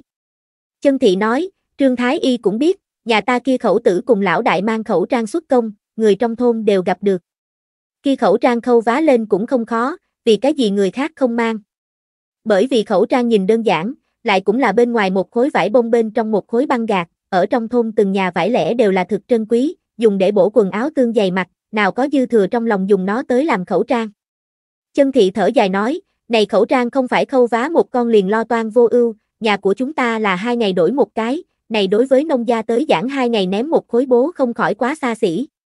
Chân thị nói chính là Trương Thái Y không suy xét đến địa phương, lại là thần thụ thôn tình hình thực tế. Đối với người trong thôn mà nói, bất luận cái gì một miếng vải vụn đều phải tích cóp lên, nếu là làm đại gia cách mấy ngày lấy một khối bố tới khâu vá khẩu trang tưởng đều không cần tưởng, huống chi còn muốn thêm vào bỏ tiền mua băng gạc. Ai đều biết mặt sắc bụi đất hô hấp đến phổi không dễ chịu a, nhưng mặc dù như vậy, phỏng chừng đại gia cũng không muốn khâu vá khẩu trang. Khi việc này, ta báo cấp mạnh đại tướng quân. Trương Thái Y cuối cùng nói. Chân thị không có nói rõ, khẩu trang việc này nên từ phía chính phủ thống nhất phái phát, lại nói hiện tại đào quặng không phải cũng là vì triều đình binh khí thiết khí. Quả nhiên giống như chân thị tưởng như vậy, Mạnh biết tự nghe xong Trương Thái Y về công nhân mang khẩu trang đào quặng lợi và hại phân tích, ngay sau đó đánh nhịp từ trong quân chi ngân sách tổ chức nhân thủ khâu vá khẩu trang. Vì thế nhiệm vụ này dừng ở thu nương trên người, rốt cuộc khẩu trang chủ ý là tiểu phúc viên nghĩ ra được, nhưng cuối cùng thành hình lại là thu nương khâu vá cải tiến. Hơn nữa nhiệm vụ dừng ở thu nương trên người không phải bạch làm, là có tiền công. Không chỉ có trong thôn quặng sắt xưởng yêu cầu, địa phương khác nhà máy hầm mỏ cũng yêu cầu. Khâu vá khẩu trang vải bông cùng băng gạc tắt trực tiếp từ bạch tam tráng cửa hàng đặt hàng, bạch người nhà lại lần nữa đối tiểu phúc viên lau mắt mà nhìn, đầu một thúc đẩy, là có thể cấp tam tráng cửa hàng kéo tới tuyệt bút đơn đặt hàng. Bạch Tam Tráng càng là thực kích động, không nghĩ tới chính mình cửa hàng thế nhưng thành quân nhu vật tư cung ứng thương. Thu Nương nhận được nhiệm vụ này thật cao hứng, nàng cảm thấy chính mình rốt cuộc có thể cấp nhà họ Bạch kiếm bạc. Bởi vì nhiệm vụ quá nhiều, Bạch Lão Thái Thái tổ chức trong thôn Đại Nương tiểu tức phụ cùng nhau khâu vá, dựa theo khâu vá số lượng tính tiền công. Đại Nương tiểu đám tức phụ tập thể sôi trào, rốt cuộc đủ không ra khẩu còn có thể kiếm tiền trợ cấp gia dụng quả thực là một kiện thiên đại hỷ sự. Đại gia sôi nổi khen Phúc Vinh Hương chủ tiểu Phúc Viên nghĩ ra chủ ý hảo, hận không thể đem nàng cấp cung lên. Chương 267 Đại Tẩu trưởng gia Ta liền nói, chúng ta Phúc Vinh Hương chủ không chỉ có vượng người trong nhà, còn có thể phúc trạch quê nhà. Thôn trưởng tức phụ vui sướng nói. Từng nhà đại cô nương tiểu tức phụ đại nương nhóm tụ tập ở nhà họ Bạch trong viện lãnh nhiệm vụ. Đó là, ít nhiều tiểu viên bảo, chúng ta lần này nạn hạn hán không chỉ có có lương thực ăn, hiện giờ còn có thể kiếm mấy cái bạc trợ cấp trong nhà. Hồ Đại Nương cảm khái nói. Hồ Đại Nương nhi tử sinh bệnh còn không có khỏi hẳn, không có biện pháp đi khu mỏ làm việc, Hồ Đại Nương có khâu vá khẩu trang nghề nghiệp có thể có tiền nhàn rỗi cấp nhi tử thỉnh y hỏi dược, hai ngày này ở trong nhà vừa mở mắt liền niệm tiểu phúc viên hảo. Thu Nương đã giáo hội đại gia sao khâu vá, quay đầu lại đại gia cầm vải bông cùng băng gạc về nhà khâu vá. Đầu tiên đại gia muốn rửa sạch sẽ tay, tiếp theo không được tư tàn bố cùng sa. Đại gia tưởng một chút, các ngươi nam nhân hoặc nhi tử ở khu mỏ thượng đâu, đây là cứu bọn họ mệnh đồ vật, nếu ai ăn bớt ăn xén nguyên vật liệu ai hạ chảo dầu. Lại một cái đây là triều đình nhiệm vụ đại gia có tiền công lấy, nếu là lừa gạt, triều đình cũng sẽ không bỏ qua. Bạch lão thái thái đứng ở trong viện đối với đại cô nương tiểu tức phụ đại nương nhóm kêu gọi dặn dò. Đại gia khâu vá khẩu trang thu nương sẽ từng cái kiểm tra, nếu phát hiện một lần ăn bớt ăn xén nguyên vật liệu, này công liền sẽ không phái cho nàng. Bạch lão thái thái cuối cùng nói ra ăn bớt ăn xén nguyên vật liệu trừng phạt thi thố. Bạch đại nương, ngươi yên tâm, chúng ta khẳng định phải hảo hảo phùng. Chính là, nếu ai ăn bớt ăn xén nguyên vật liệu, ta thoá chết nàng. Mọi người đều nghe hảo, nếu ai cấp chúng ta phúc vinh hương chủ thanh danh bôi đen, ai làm giòn rời đi chúng ta thôn. Đại gia sôi nổi tỏ thái độ. Bạch lão thái thái thấy hỏa hậu không sai biệt lắm, liền làm thu nương mang theo hai cháu dâu cho đại gia tuyên bố cùng xa. Tiểu Phúc Viên cùng Đại lang tắt ngồi ở một bên ký lục. Từ khi Tiểu Phúc Viên vào tư thục niệm thư, học xong viết bút lông tự, tuy rằng viết không có như vậy hảo, nhưng nhớ cái đồ vật nhưng thật ra không nói chơi. Đại lang chủ yếu là thẩm tra đối chiếu con số. Không cần thiết một canh giờ, thực mau phát xong rồi bố cùng ra. Cuối cùng đến phiên hồ đại nương khi, dựa theo bạch lão thái thái lén giao phó, thu nương chia nàng bố cùng ra so người khác nhiều gấp đôi. Ta như thế nào so người khác nhiều? Hồ Đại Nương khó hiểu hỏi. Hồ Đại Nương, hiện tại trong đất sống không nhiều lắm, ngài lại tương đối có thể làm, nãy nãy liền nhiều phái một ít sống cho ngài. Tiểu Phúc Viên trên mặt mang theo cười ngọt ngào nói. Hồ Đại Nương vừa định đối Bạch Lão Thái Thái tỏ vẻ cảm tạ, Bạch Lão Thái Thái xua xua tay nói, vẫn là tiểu cháu gái nhắc nhở ta ngươi nhi tử sinh bệnh, trong nhà nơi trốn phải bỏ tiền, cho nên liền nghĩ đa phần cho ngươi một ít làm ngươi nhiều kiếm mấy cái. Hồ Đại Nương trong lòng dâng lên cảm động. Ngăn đón tiểu phúc viên lau nước mắt nói, chúng ta tiểu viên bảo tâm cũng thật thiện, còn có thể nghĩ đến ta cái này lão bà tử, chờ đại nương kiếm lời cho ngươi mua hoa mang. Tiểu phúc viên cười tủm tỉm nói, không cần hồ đại nương, ngươi yên tâm hảo, hồ đại ca bệnh thực mau thì tốt rồi. Hồ đại nương lau khô nước mắt, trên mặt hiện ra cười, nói, người khác nói như vậy ta không tin, nhưng tiểu viên bảo nói như vậy đại nương ta tin, tiểu viên bảo so với kia trong miếu Bồ Tát còn linh nghiệm đâu. Ngươi hồ đại ca nếu là thật tốt, đại nương về sau không bao giờ bái Bồ Tát, đại nương liền bái tiểu viên bảo. Tiểu phúc viên. Đảo cũng không cần như vậy ha. Bên này thu nương vội vàng khẩu trang sự tình, liền không thể phân ra tinh lực vội trong nhà Việt trong nhà sống dừng ở tạ Xuân Đào cùng Vưu Kim Quế trên người. Tạ Xuân Đào luôn luôn tương đối bổn phận phúc hậu, trước kia thu nương không có tới khi, từ giặt quần áo nấu cơm đến thu thập trong nhà cái gì sống đều không chọn. Vưu Kim Quế tắc không giống nhau, gần nhất lười, Thứ hai cảm thấy trong nhà thiên hướng thu nương một ngoại nhân, em đẹp khẩu trang sinh ý không giao cho người trong nhà, ngược lại là một ngoại nhân tới giám sát. Khi khẩu trang chủ ý lại không phải thu nương sinh ra tới, mà là tiểu cô. Nhưng nàng cũng chỉ là ngẫm lại, không dám nói ra, vì nịnh bợ cô em chồng lần sau chuyện tốt có thể luân thượng nàng, làm khởi sống tới đảo cũng tích cực. Bởi vậy chị em dâu chi gian nhưng thật ra thiếu rất nhiều cọ sát. Bạch lão thái thái cùng chân thị mẹ chồng nàng dâu hai thương lượng một phen, quyết định về sau đem trong nhà trưởng gia quyền to giao cho tạ Xuân Đào. Trước kia tạ Xuân Đào áp không được Vưu Kim Quế, đó là nàng không trưởng gia, bạch chiếm trưởng tẩu danh nghĩa.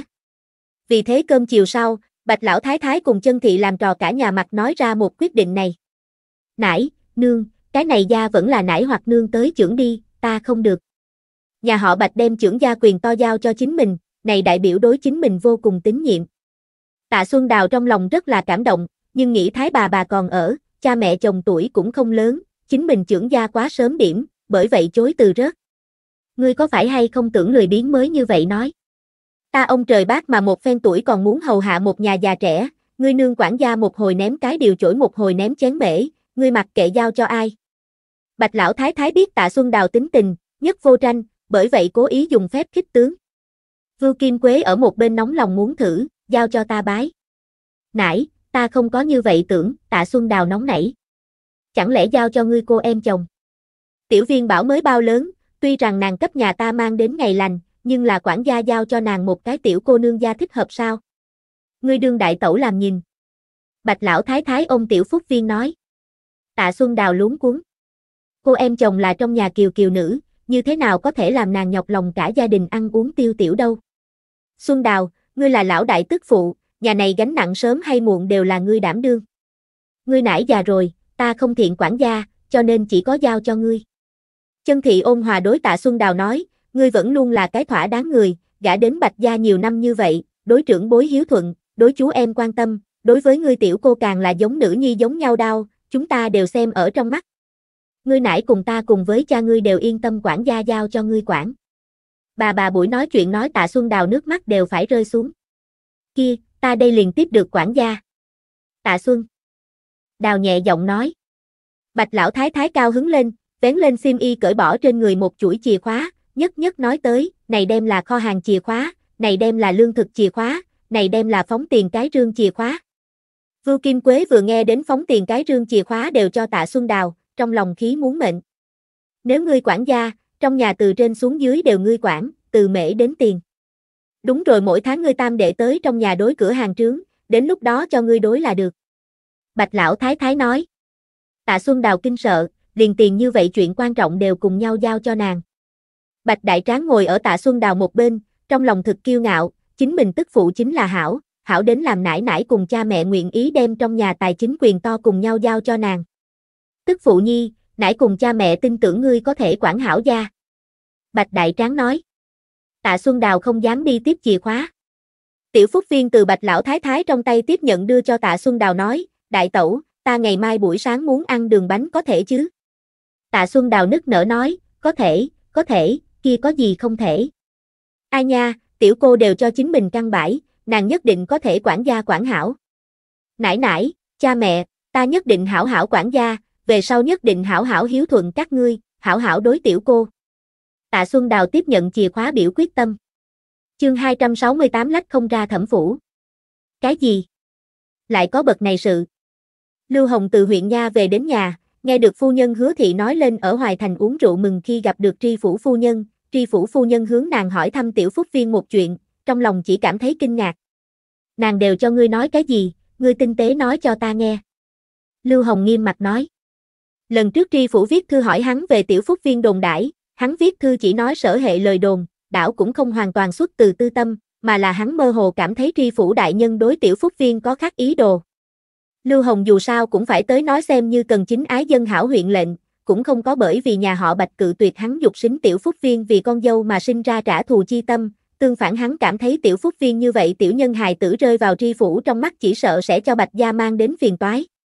Vẫn là điều thấp xử lý cho thỏa đáng. Nàng hỏi thăm nhiều như vậy, ta xem như nghe minh bạch, nàng muốn cho ta đương trong đó gia người nàng muốn thay thẩm gia con trai độc nhất làm mai. Hứa thị thành thành thật thật đem tri phủ phu nhân ý đồ nói thẳng ra. Ngươi đáp ứng rồi. Lưu Hồng nhíu mày hỏi. Lão gia cũng thật sẽ hoài nghi, ta có như vậy ngu xuẩn. Lần trước bởi vì tưởng nạp tiểu viên bảo vì ta lưu gia thiếp, ta ở nhà họ bạch không đến chọc một thân tao, còn đắc tội trung tỉnh hầu phủ phu nhân.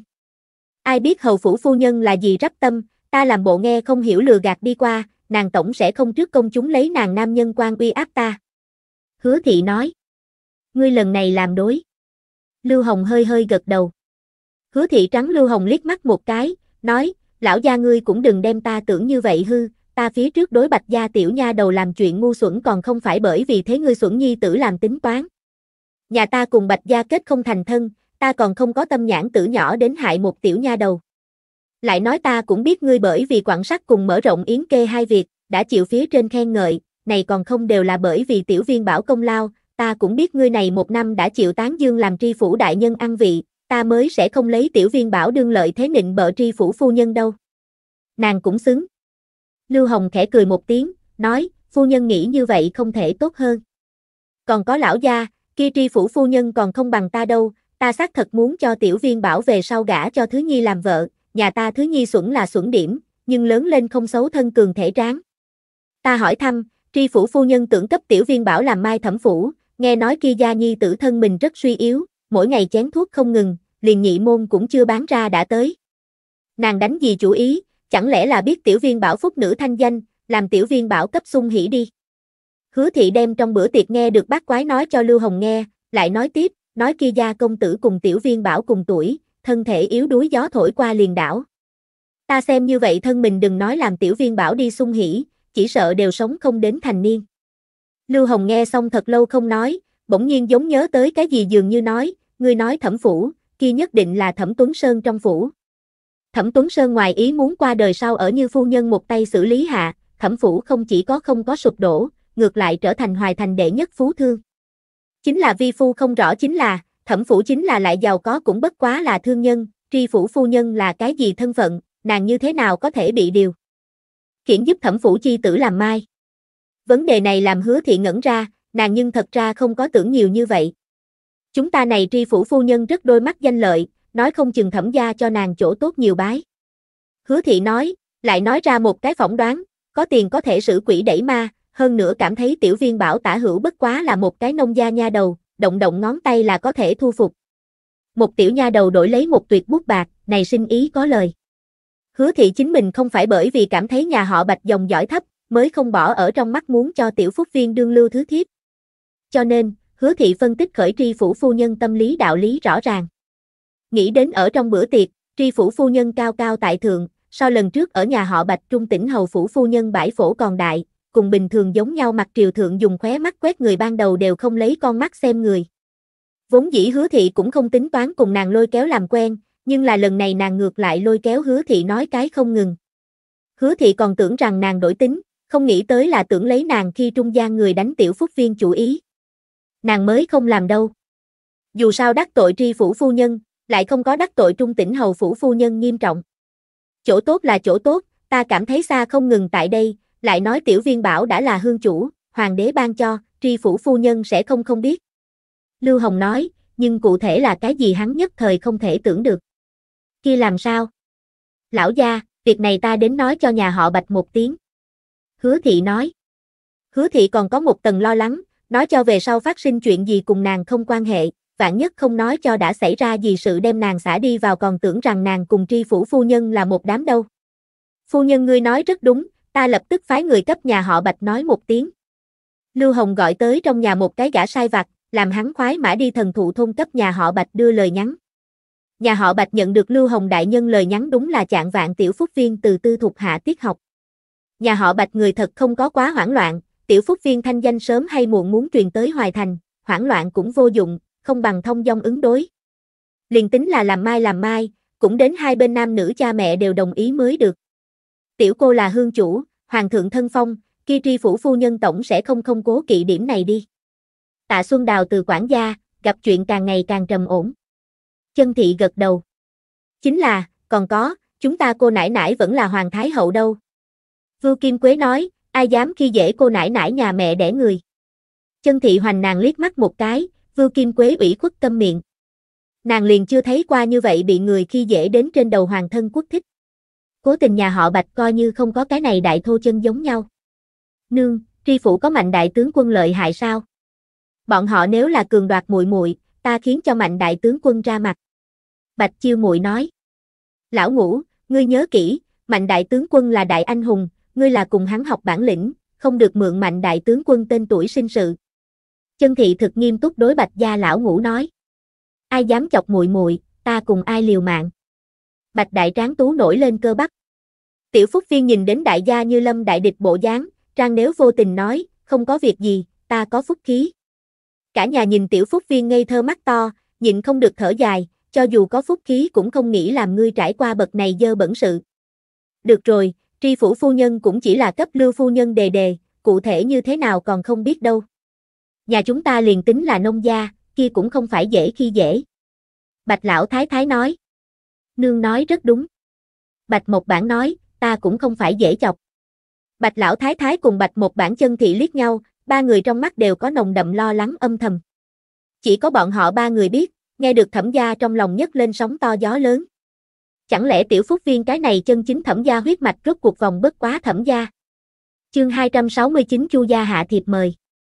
Buổi tối tiểu phúc viên sắp ngủ trước, chân thị đem nàng ôm vào trong ngực giống như khi còn nhỏ vỗ nàng hống ngủ. Tiểu phúc viên cảm thấy chính mình đều đã trưởng thành, nương làm như vậy nhất định có tâm sự. Vì thế ghé vào chân thị trong lòng ngực an ủi mẫu thân nói, nương, không có việc gì. Nhìn tiểu khuê nữ phấn nộn mặt đẹp ngập nước mắt to, chân thị nhịn không được hôn hôn cái trán của nàng, nhẹ giọng nói, ngoan bảo, ngủ đi, có nương ở đâu. Tiểu phúc viên nặng nề ngủ. Đệ nhị buổi sáng tỉnh lại mới phát hiện, không phải ở chính mình trong phòng, tối hôm qua ngủ say sau, nương đem nàng ôm tới rồi chính mình trên giường ôm nàng ngủ một đêm. Nam Quan Trấn Bạch nhớ lụa trang cửa hàng. Bạch Tam Tráng ra cửa tiễn đi một đám khách nhân sau, thấy cửa đứng hai vị giả dạng hoa lệ phụ. Nhân. Đây là Bạch nhớ lụa trang cửa hàng đi. Trong đó một vị tuổi trẻ chút phụ nhân mở miệng hỏi. Đúng vậy, nhị vị phu nhân yêu cầu cái gì?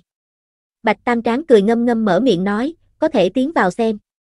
Hai vị phụ nhân, tuổi lớn một chút vị kia là thẩm phủ tiền mama tuổi trẻ một chút chính là tri phủ trong phủ tôn mama. Hai người đã chịu chủ gia phân phó, đặt tới Nam quan trấn tìm tòi đến tột cùng. Nghe nói tiểu phúc viên tam ca ở trấn trên có cái tơ lụa cửa hàng, cơ hội như vậy như thế nào có thể bỏ lỡ đâu.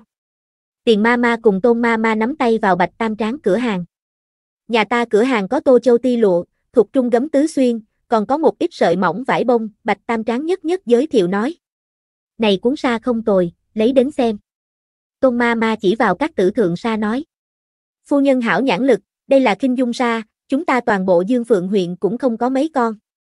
Này nguyên liệu từ bạc thành tới, lại nhẹ lại mềm, xuyên trên người giống mây mù giống nhau. Bạch Tam Tráng từ các tử thượng tướng Kinh Dung Sa lấy ra, ở tôn ma ma trước mặt trên bàn triển khai. U, Kinh Dung Sa ta biết, nhà ta phu nhân liền ái này ra. Tôn ma ma hướng tiền ma ma kêu căng nói, vị này trưởng quầy nói rất đúng, đừng nói Dương Phượng huyện, chính là chúng ta toàn bộ Hoài Thành cũng không có mấy con, thế nhưng tại đây nho nhỏ Nam quan trấn xuất hiện. Tiền ma ma trong lòng kinh thường, một cái thương phụ vẫn là như phu nhân, như phu nhân nói thật dễ nghe kia còn không phải tiểu thiếp một cái. Còn bãi nổi lên bản nhạc, nhà nàng tri phủ phu nhân đều không có xuyên qua đâu. Xin hỏi ngài gia phu nhân là? Bạch Tam Tráng thật cẩn thận hỏi. Tôn ma ma rất là tự đắc, kiêu ngạo nói, hoài thành thẩm gia. Bạch Tam Tráng rất là kính nể. Hoài thành thẩm gia ở toàn bộ hoài thành thương giới tiếng tâm lừng lẫy, là mỗi cái làm buôn bán người muốn đạt tới đỉnh, Bạch Tam Tráng cũng không ngoại lệ. Mấy năm trước Bạch Tam Tráng còn ở từ gia cửa hàng khi, đi thẩm gia đưa quá đồ sơn, hắn cha mẹ cũng ở thẩm gia làm giúp quá. Thế nhưng có thể ở Nam Quan trấn nhà mình cửa hàng gặp được thẩm gia người, Bạch Tam Tráng cảm thấy là duyên phận cho phép, đối đãi trước mắt hai vị ma ma càng thêm nhiệt tình. Chưởng quầy, này Kinh Dung Sa muốn 10 thất, gấm tứ xuyên 10 thất, tô ti 10 thất. Tôn ma ma nói. Quả nhiên là hoài thành thẩm gia, vừa ra tay liền bất phàm, Bạch Tam Tráng trong lòng cao hứng không ra nửa ngày liền làm một bút đại sinh ý. Nhưng ngay sau đó trong lòng phát sầu, trong tiệm chỉ có hai thất kinh dung sa, xa xa không đủ. Vị này ma ma, ta này trong tiệm chỉ có hai thất kinh dung sa, Bạch Tam Tráng khó xử nói, đồng thời trong lòng không nghĩ vứt bỏ cửa này sinh ý, rốt cuộc 10 thất kinh dung sa sinh ý để toàn bộ cửa hàng nửa tháng lợi nhuận, nếu ngài gia phu nhân nguyện ý chờ nói, 10 ngày sau ta tự mình đưa đến quý phủ thế nào? Tôn ma ma nhưng thật ra thực sản khoái, nói, kia không thể tốt hơn. Vì thế thanh toán tiền đặt cọc, ước định 10 ngày sau, Bạch Tam Tráng đem Kinh Dung Sa đưa đến Hoài Thành thẩm phủ. Bạch Tam Tráng làm thành một đơn đại sinh ý, trong lòng cao hứng, trước tiên dục hòa điền lúa mạch non chia sẻ. Điền mạch miêu không ở cửa hàng. Lúc này điền mạch miêu đi từ gia thăm từ phu nhân, từ phu nhân gần nhất bị phong hàng triền miên giường bệnh gian. Ta nương mỗi năm lúc này đều sẽ bệnh một hồi, thỉnh y hỏi dược vẫn luôn không thấy hảo. Ta nghe nói thần thụ thôn Ngô Lan Trung là thánh thủ, ta tưởng thỉnh hắn tới cấp nương xem, nương nói Dương Phượng huyện Lan Trung đều không được, Sơn thôn Lan Trung sao được. Lúa mạch non ngươi bà bà gia ở thần thụ thôn, ngươi nói Ngô Lan Trung y thuật có phải hay không rất lợi hại. Điền Mạch Miêu lần này trạm từ Kiều Kiều, cùng từ phu nhân nói, Kiều Kiều nói rất đúng, ngài không bằng thành toàn nàng hiếu tâm. Điền Mạch Miêu đều nói như vậy, từ Kiều Kiều lập tức mang theo nha hoàng Tiểu Mai làm xa phu bộ xe ngựa chạy đến thần thụ thôn thỉnh Ngô Lan Trung. Từ Kiều Kiều nghĩ nếu đi thần thụ thôn, thuận tiện cấp tiểu phúc viên mua điểm lễ vật mang lên. Vì thế đi vào điểm tâm cửa hàng, con dòng chính lò điểm tâm hương phiêu một cái phố, dẫn rất nhiều người ở xếp hàng. Nàng phái Tiểu Mai đi mua, Tiểu Mai cho một vị đại nương mấy cái đồng tiền lớn bỏ thêm cái tắc, thực mau mua mấy thứ điểm tâm trở về. Cô nương, mới vừa rồi ta mua điểm tâm khi, nghe được xếp hàng người nghị luận Tiểu Viên bảo là phúc nữ, nói thần chăng này chăng. Tiểu Mai nói. Tiểu Viên bảo hiện tại là hương chủ, đại gia nghị luận lên cũng bình thường. Rất nhiều người không có gặp qua Tiểu Viên bảo, nhưng không đem nàng tưởng tượng cấp thần tiên giống nhau. Từ Kiều Kiều không để bụng nói, nói nữa, Tiểu Viên bảo vốn dĩ liền có phúc khí A, đại gia khen nàng không bình thường. Từ Kiều Kiều hiện tại nghiễm nhiên là viên thổi. Tiểu Mai lắc đầu nói, cô nương, lần này ta cảm thấy thảo luận không quá thích hợp. Từ Kiều Kiều nhướng mày, như thế nào không thích hợp? Tiểu Mai nói, chính là có một nam một nữ, không rất giống chúng ta trấn trên người, hai. Người bọn họ trước đẩy ra đề tài. Hỏi xếp hàng người có biết hay không thần thụ thôn phúc nữ, vừa lúc xếp hàng có thần thụ thôn hai đại nương. Ta nghe được bọn họ bắt chuyện lên, kia hai người còn giống hai đại nương hỏi thăm tiểu viên bảo phụ huynh, còn nói tiểu viên bảo đều đã là hương chủ, có hay không người cầu hôn gì đó. Từ Kiều Kiều nghe được này, nhớ mày nói, đều nói cây to đón gió, bảo không chuẩn có một ít nhân đố kỵ tiểu viên bảo, ngươi thấy rõ ràng hai người bộ dáng sao. Tiểu Mai mới vừa rồi chỉ lo nghe bọn hắn nói chuyện phím, quên mất, một lần nữa chạy tới vừa thấy, người đã không thấy. Chúng ta chạy nhanh đi thần thụ thôn, đem việc này nói cho nhà họ Bạch. Mặc kệ hỏi thăm tiểu phúc viên chính là gì người, tóm lại cảnh giác chút là tốt. Từ Kiều Kiều nói. Từ Kiều Kiều mệnh xa phu ra roi thúc ngựa đuổi tới thần thụ thôn. Tới rồi cửa thôn tư thục bên, vừa lúc tư thục mới vừa tan học. Từ Kiều Kiều liếc mắt một cái liền phát hiện đông đảo hài tử trung tiểu phúc viên, vì thế hướng nàng vẫy tay, tiểu viên bảo, ta tới xem ngươi. Tiểu phúc viên chạy tới, ngọt ngào cấp từ Kiều Kiều chào hỏi, Kiều Kiều tỷ tỷ hảo. Từ Kiều Kiều chỉ vào trên xe ngựa điểm tâm nói, đều là cho ngươi mua, trước đưa nhà ngươi đi, ngốc sẽ ngươi hạ học về nhà ăn. Đúng rồi, ta tới thỉnh Ngô Lan Trung, ngươi biết nhà hắn ở nơi nào sao? Tiểu Phúc Viên gọi tới Ngô Siêu Cảnh, làm hắn mang theo từ Kiều Kiều đi Ngô gia. Từ Kiều Kiều thỉnh xong Ngô Lan Trung, thuận đường đi vào nhà họ Bạch, đem có người ở trấn trên hỏi thăm Tiểu Phúc Viên sự nói cho Bạch gia. Bạch Lão Thái Thái cùng Bạch một bản chân thị hai vợ chồng rất là lo lắng, kế tiếp mấy ngày đem Tiểu Phúc Viên xem gắt gao. Tết đoan ngọ thời điểm, nhà họ Bạch nhận được Chu gia thiệp mời, nói là Chu gia lão phu nhân sinh nhật, nhân cơ hội này mời Bạch gia nữ quyến đi Hoài Thành Chu phủ làm khách. Chương 270 có thể đi Hoài Thành. Nhận được Chu phủ thiệp mời, Tiểu Phúc Viên trong lòng thập phần cao hứng. Nàng sớm đều muốn đi Hoài Thành, lần này rốt cuộc tóm được cơ hội có thể đi. Bạch lão thái thái cùng chân thị cùng với Bạch một bản lại phạm vào sầu, trong nội tâm bọn họ đều không hy vọng Tiểu Phúc Viên bước vào Hoài Thành một bước. Hơn nữa huyện lệnh đại nhân báo tin, tri phủ phu nhân tưởng cấp Tiểu Phúc Viên cùng thẩm gia công tử làm mai, liền sợ tới rồi Hoài Thành sẽ phát sinh không thể đoán trước sự tình. Nhưng lại không biết tìm cái gì lý do cự tuyệt Chu gia. Chu lão phu nhân tự mình hạ thiệp mời thả chỉ tên muốn Tiểu Phúc Viên đi Chu gia làm khách, liền tính Tiểu Phúc Viên hiện tại là hương chủ cũng không thể tùy tiện cự tuyệt. Huống chi nếu luận phẩm cấp, Chu lão phu nhân vẫn là triều đình cáo mệnh, há là nho nhỏ hương chủ có thể so. Còn có, Bạch gia lão tứ cùng Nhị Lan còn lấy Chu phủ quan, ở Hoài Thủy thư viện niệm thư đâu. Nghĩ tới nghĩ lui, đều không hảo cự tuyệt. Liền nói khuê nữ sinh bệnh, sợ qua bệnh khí cấp Chu lão phu nhân. Bạch Mộc Bản suy nghĩ cái chủ ý. Tiếng nói vừa dứt, không ra dự kiến đạt được Bạch lão thái thái cùng chân thị mẹ chồng nàng dâu hai đối xem thường. Phi phi phi, ngươi có thể hay không tưởng điểm tốt, ai sinh bệnh tiểu viên bảo đều sẽ không sinh bệnh. Bạch lão thái thái mắng. Kia sao chỉnh? Nếu không liền nói tiểu viên bảo đi bà ngoại gia. Bạch một Bản tiếp tục tưởng chiêu nhi. Chân thị nhẹ nhàng lắc đầu nói, lấy cớ này vừa thấy liền rất vụng về. Ba người thương nghị một phen không đến ra hảo phương pháp. Tiểu Phúc Viên lộc cục chạy tới, ông chân thị cánh tay nói, nương, chúng ta là muốn đi hoài thành sao? Chân thị cúi đầu cùng Tiểu Phúc Viên đối diện, một đôi sạch sẽ mắt to mang theo tò mò. Khuê nữ ngươi muốn đi hoài thành sao? Chân thị nhịn không được hỏi. Muốn đi. Tiểu Phúc Viên dùng sức gật đầu, mềm mại nói, ta còn không có đi qua Hoài Thành đâu, nghe Tam ca nói Hoài Thành thực hảo chơi ta muốn đi xem, còn có ta tưởng A Hành tỷ tỷ tưởng tứ ca tưởng nhị lan. Tiểu Phúc Viên lại sợ giống lần trước như vậy trong nhà làm lơ nàng thỉnh cầu. Nàng ngửi được nải nải cùng cha mẹ chi gian không giống bình thường không khí, tiềm thức trung nàng cảm thấy cùng lần này đi Hoài Thành có quan hệ, nàng có một loại bản năng phản ứng, cảm thấy bọn họ ba cái đại nhân đối nàng đi Hoài Thành có một loại sợ hãi tâm tư. Đến nỗi sợ cái gì, nàng cũng không rõ ràng lắm. nãi nãi ngài khiến cho ta cùng đi đi. Tiểu Phúc Viên ngược lại lăn đến Bạch Lão Thái Thái trong lòng ngực làm nũng. Chỉ cần Bạch Lão Thái Thái nhả ra, Lão Nương cùng Lão Cha nơi đó liền dễ làm. Bạch Lão Thái Thái ở do dự. Tiểu Phúc Viên khóe mắt dư quan quan sát Bạch Lão Thái Thái phản ứng, ân, có buông lỏng. nãi nãi ngài cũng đi. Ngài chính là ta thôn lợi hại nhất Lão Thái Thái, ta đi theo ngài, ngài còn có thể tráo không được ta. Tiểu Phúc Viên nằm ở Bạch Lão Thái Thái cánh tay thượng, ngọt ngào tiếp tục dùng ra công tâm kế, nãi nãi, đừng quên, ngài cháu gái có phúc khí, ai cũng thương không ngã ta. Bạch Lão Thái Thái ánh mắt sáng ngời, chân thị cùng Bạch một bản ánh mắt đồng dạng cũng sáng ngời. Đúng rồi, quan tâm sẽ bị loạn, nhưng thật ra đã quên này một tầng. Tiểu Phúc Viên là có phúc khí hài tử A. Nhìn trước mắt tiểu cháu gái tinh xảo tú khí gương mặt, kiều kiều cái mũi nhỏ, một đôi mắt to chớp động trong trẻo quang, bạch lão thái thái thật sự vô pháp cự tuyệt cháu gái thỉnh cầu. Kia hành đi, cùng đi. Làm ngươi đại tẩu cùng thu nương cho ngươi làm thân tân y phục. Bạch lão thái thái một ngụm đồng ý. Tiểu phúc viên triều bạch lão thái thái trên má hôn một cái nói, nải nải đau nhất tiểu viên bảo, ta đi tìm đại tẩu cùng thu tỷ tỷ. Nói xong, trên mặt mang theo thực hiện được mỉm cười nhanh như chớp chạy. Nương, ngươi sao liền đáp ứng rồi? Bạch Mộc Bản thu hồi trên mặt cười nói. Thật là, khuê nữ gần nhất liền rối loạn một tấc vuông, khuê nữ từ trong phòng rời đi sau khôi phục bình tĩnh Bạch Mộc Bản lại lần nữa lo lắng lên. Ta liền lo lắng thẩm gia biết nàng tồn tại, Bạch Mộc Bản muộn thanh nói, yếu hại nàng. Chân thị lại có bất đồng ý kiến. Ta nhưng thật ra không lo lắng cái này, chúng ta một mực chắc chắn tiểu viên bảo là nhà ta hài tử, ai cũng không làm gì được.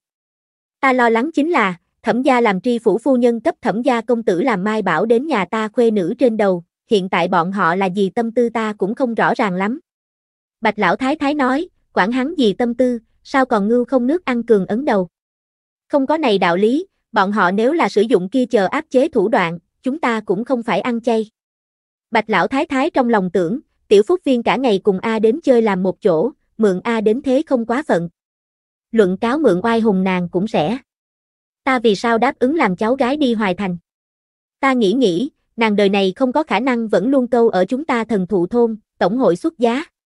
Sớm này mang nàng đi hoài thành, ta nhưng thật ra muốn nhìn kia thẩm gia cùng tri phủ phu nhân đánh gì chủ ý. Ta cũng hảo ứng đối. Bạch lão thái thái tổng kết đến. Sự tình liền như vậy định rồi, 10 ngày sau cả nhà nữ quyến mang theo tiểu phúc viên đi hoài thành tham gia chu lão phu nhân sinh nhật yến. Tạ Xuân Đào hiện nay làm trưởng gia nhân, trù bị cấp chu lão phu nhân sinh nhật hạ lễ, nàng lần đầu trải qua việc này, không biết chuẩn bị cái gì mới tốt. Vì thế tìm chân thị thảo chủ ý. Chân thị cân nhắc một phen nói, chu gia cái gì cũng không thiếu, ta theo tòa tượng quan âm đưa cho chu lão phu nhân đi. Thu nương ở một bên nói, a thẩm, ngài miêu hảo đa dạng, giao cho ta đi. Thu nương cực kỳ am hiểu theo thùa, theo lại mau lại hảo. Chân thị đem từ trước chân phủ độc môn theo pháp dạy cho thu nương, nàng theo thậm chí càng hơn chân thị một bậc. Ngươi còn muốn nhìn chầm chầm khẩu trang sự tình, nơi nào có thời gian. Chân thị cười nói. Khẩu trang sự không cần mỗi ngày nhìn chầm chầm, a thẩm ngài đôi mắt không tốt, liền giao cho ta đi. Thu nương thành tâm nói. Chân thị nghĩ nghĩ liền đáp ứng rồi nàng. Nương, ta cũng cấp chu lão phu nhân làm hai đai buộc tráng, cảm ơn chu gia làm nhị lan tiếng hoài thủy thư viện. Còn có chu gia chỉ tên nhà ta nữ quyến đều đi, tam đệ muội ta cấp mang lời nhắn, nàng đáp lời vừa lúc tam đệ đến lúc đó cũng phải đi hoài thành đưa ti, bọn họ trước tiên tới đón chúng ta cùng nhau đi. Tạ Xuân Đào nói. Chân thị gật đầu, con dâu cả quản gia càng ngày càng quen tay. Còn có, nhị đệ muội bên kia, chân thị nói. Đều cùng đi. Chân thị nói. Đừng nhìn Vưu Kim Quế ở trong nhà ức hiếp người nhà, tới rồi bên ngoài chính là thành thật thực, lại nói có nàng cùng bạch lão thái thái nhìn chầm chầm nàng làm không được yêu. Kia hành. Chân thị đáp ứng, ta đi nói cho nhị đệ muội một tiếng. Vưu Kim Quế biết được nàng cũng có thể đi chu phủ khi, trong lòng nhạc nở hoa, nàng còn không có đi qua gia đình giàu có đâu, nàng sớm đều muốn đi mở mở mắt. Nhị đệ muội, Chu gia ở Hoài Thành đều là số được với gia đình giàu có, Chu đại nho như vậy đại danh thanh, khuê nữ lại là hầu phủ phu nhân, khẳng định cấp Chu lão phu nhân mừng thọ đều là phú quý nhân gia. Chúng ta lần này đi Chu gia đại biểu Bạch gia thể diện, nói chuyện làm việc nhất định phải đi theo nải cùng nương, cũng không thể chọc người chê cười. Tạ Xuân Đào dặn dò Vưu Kim Quế.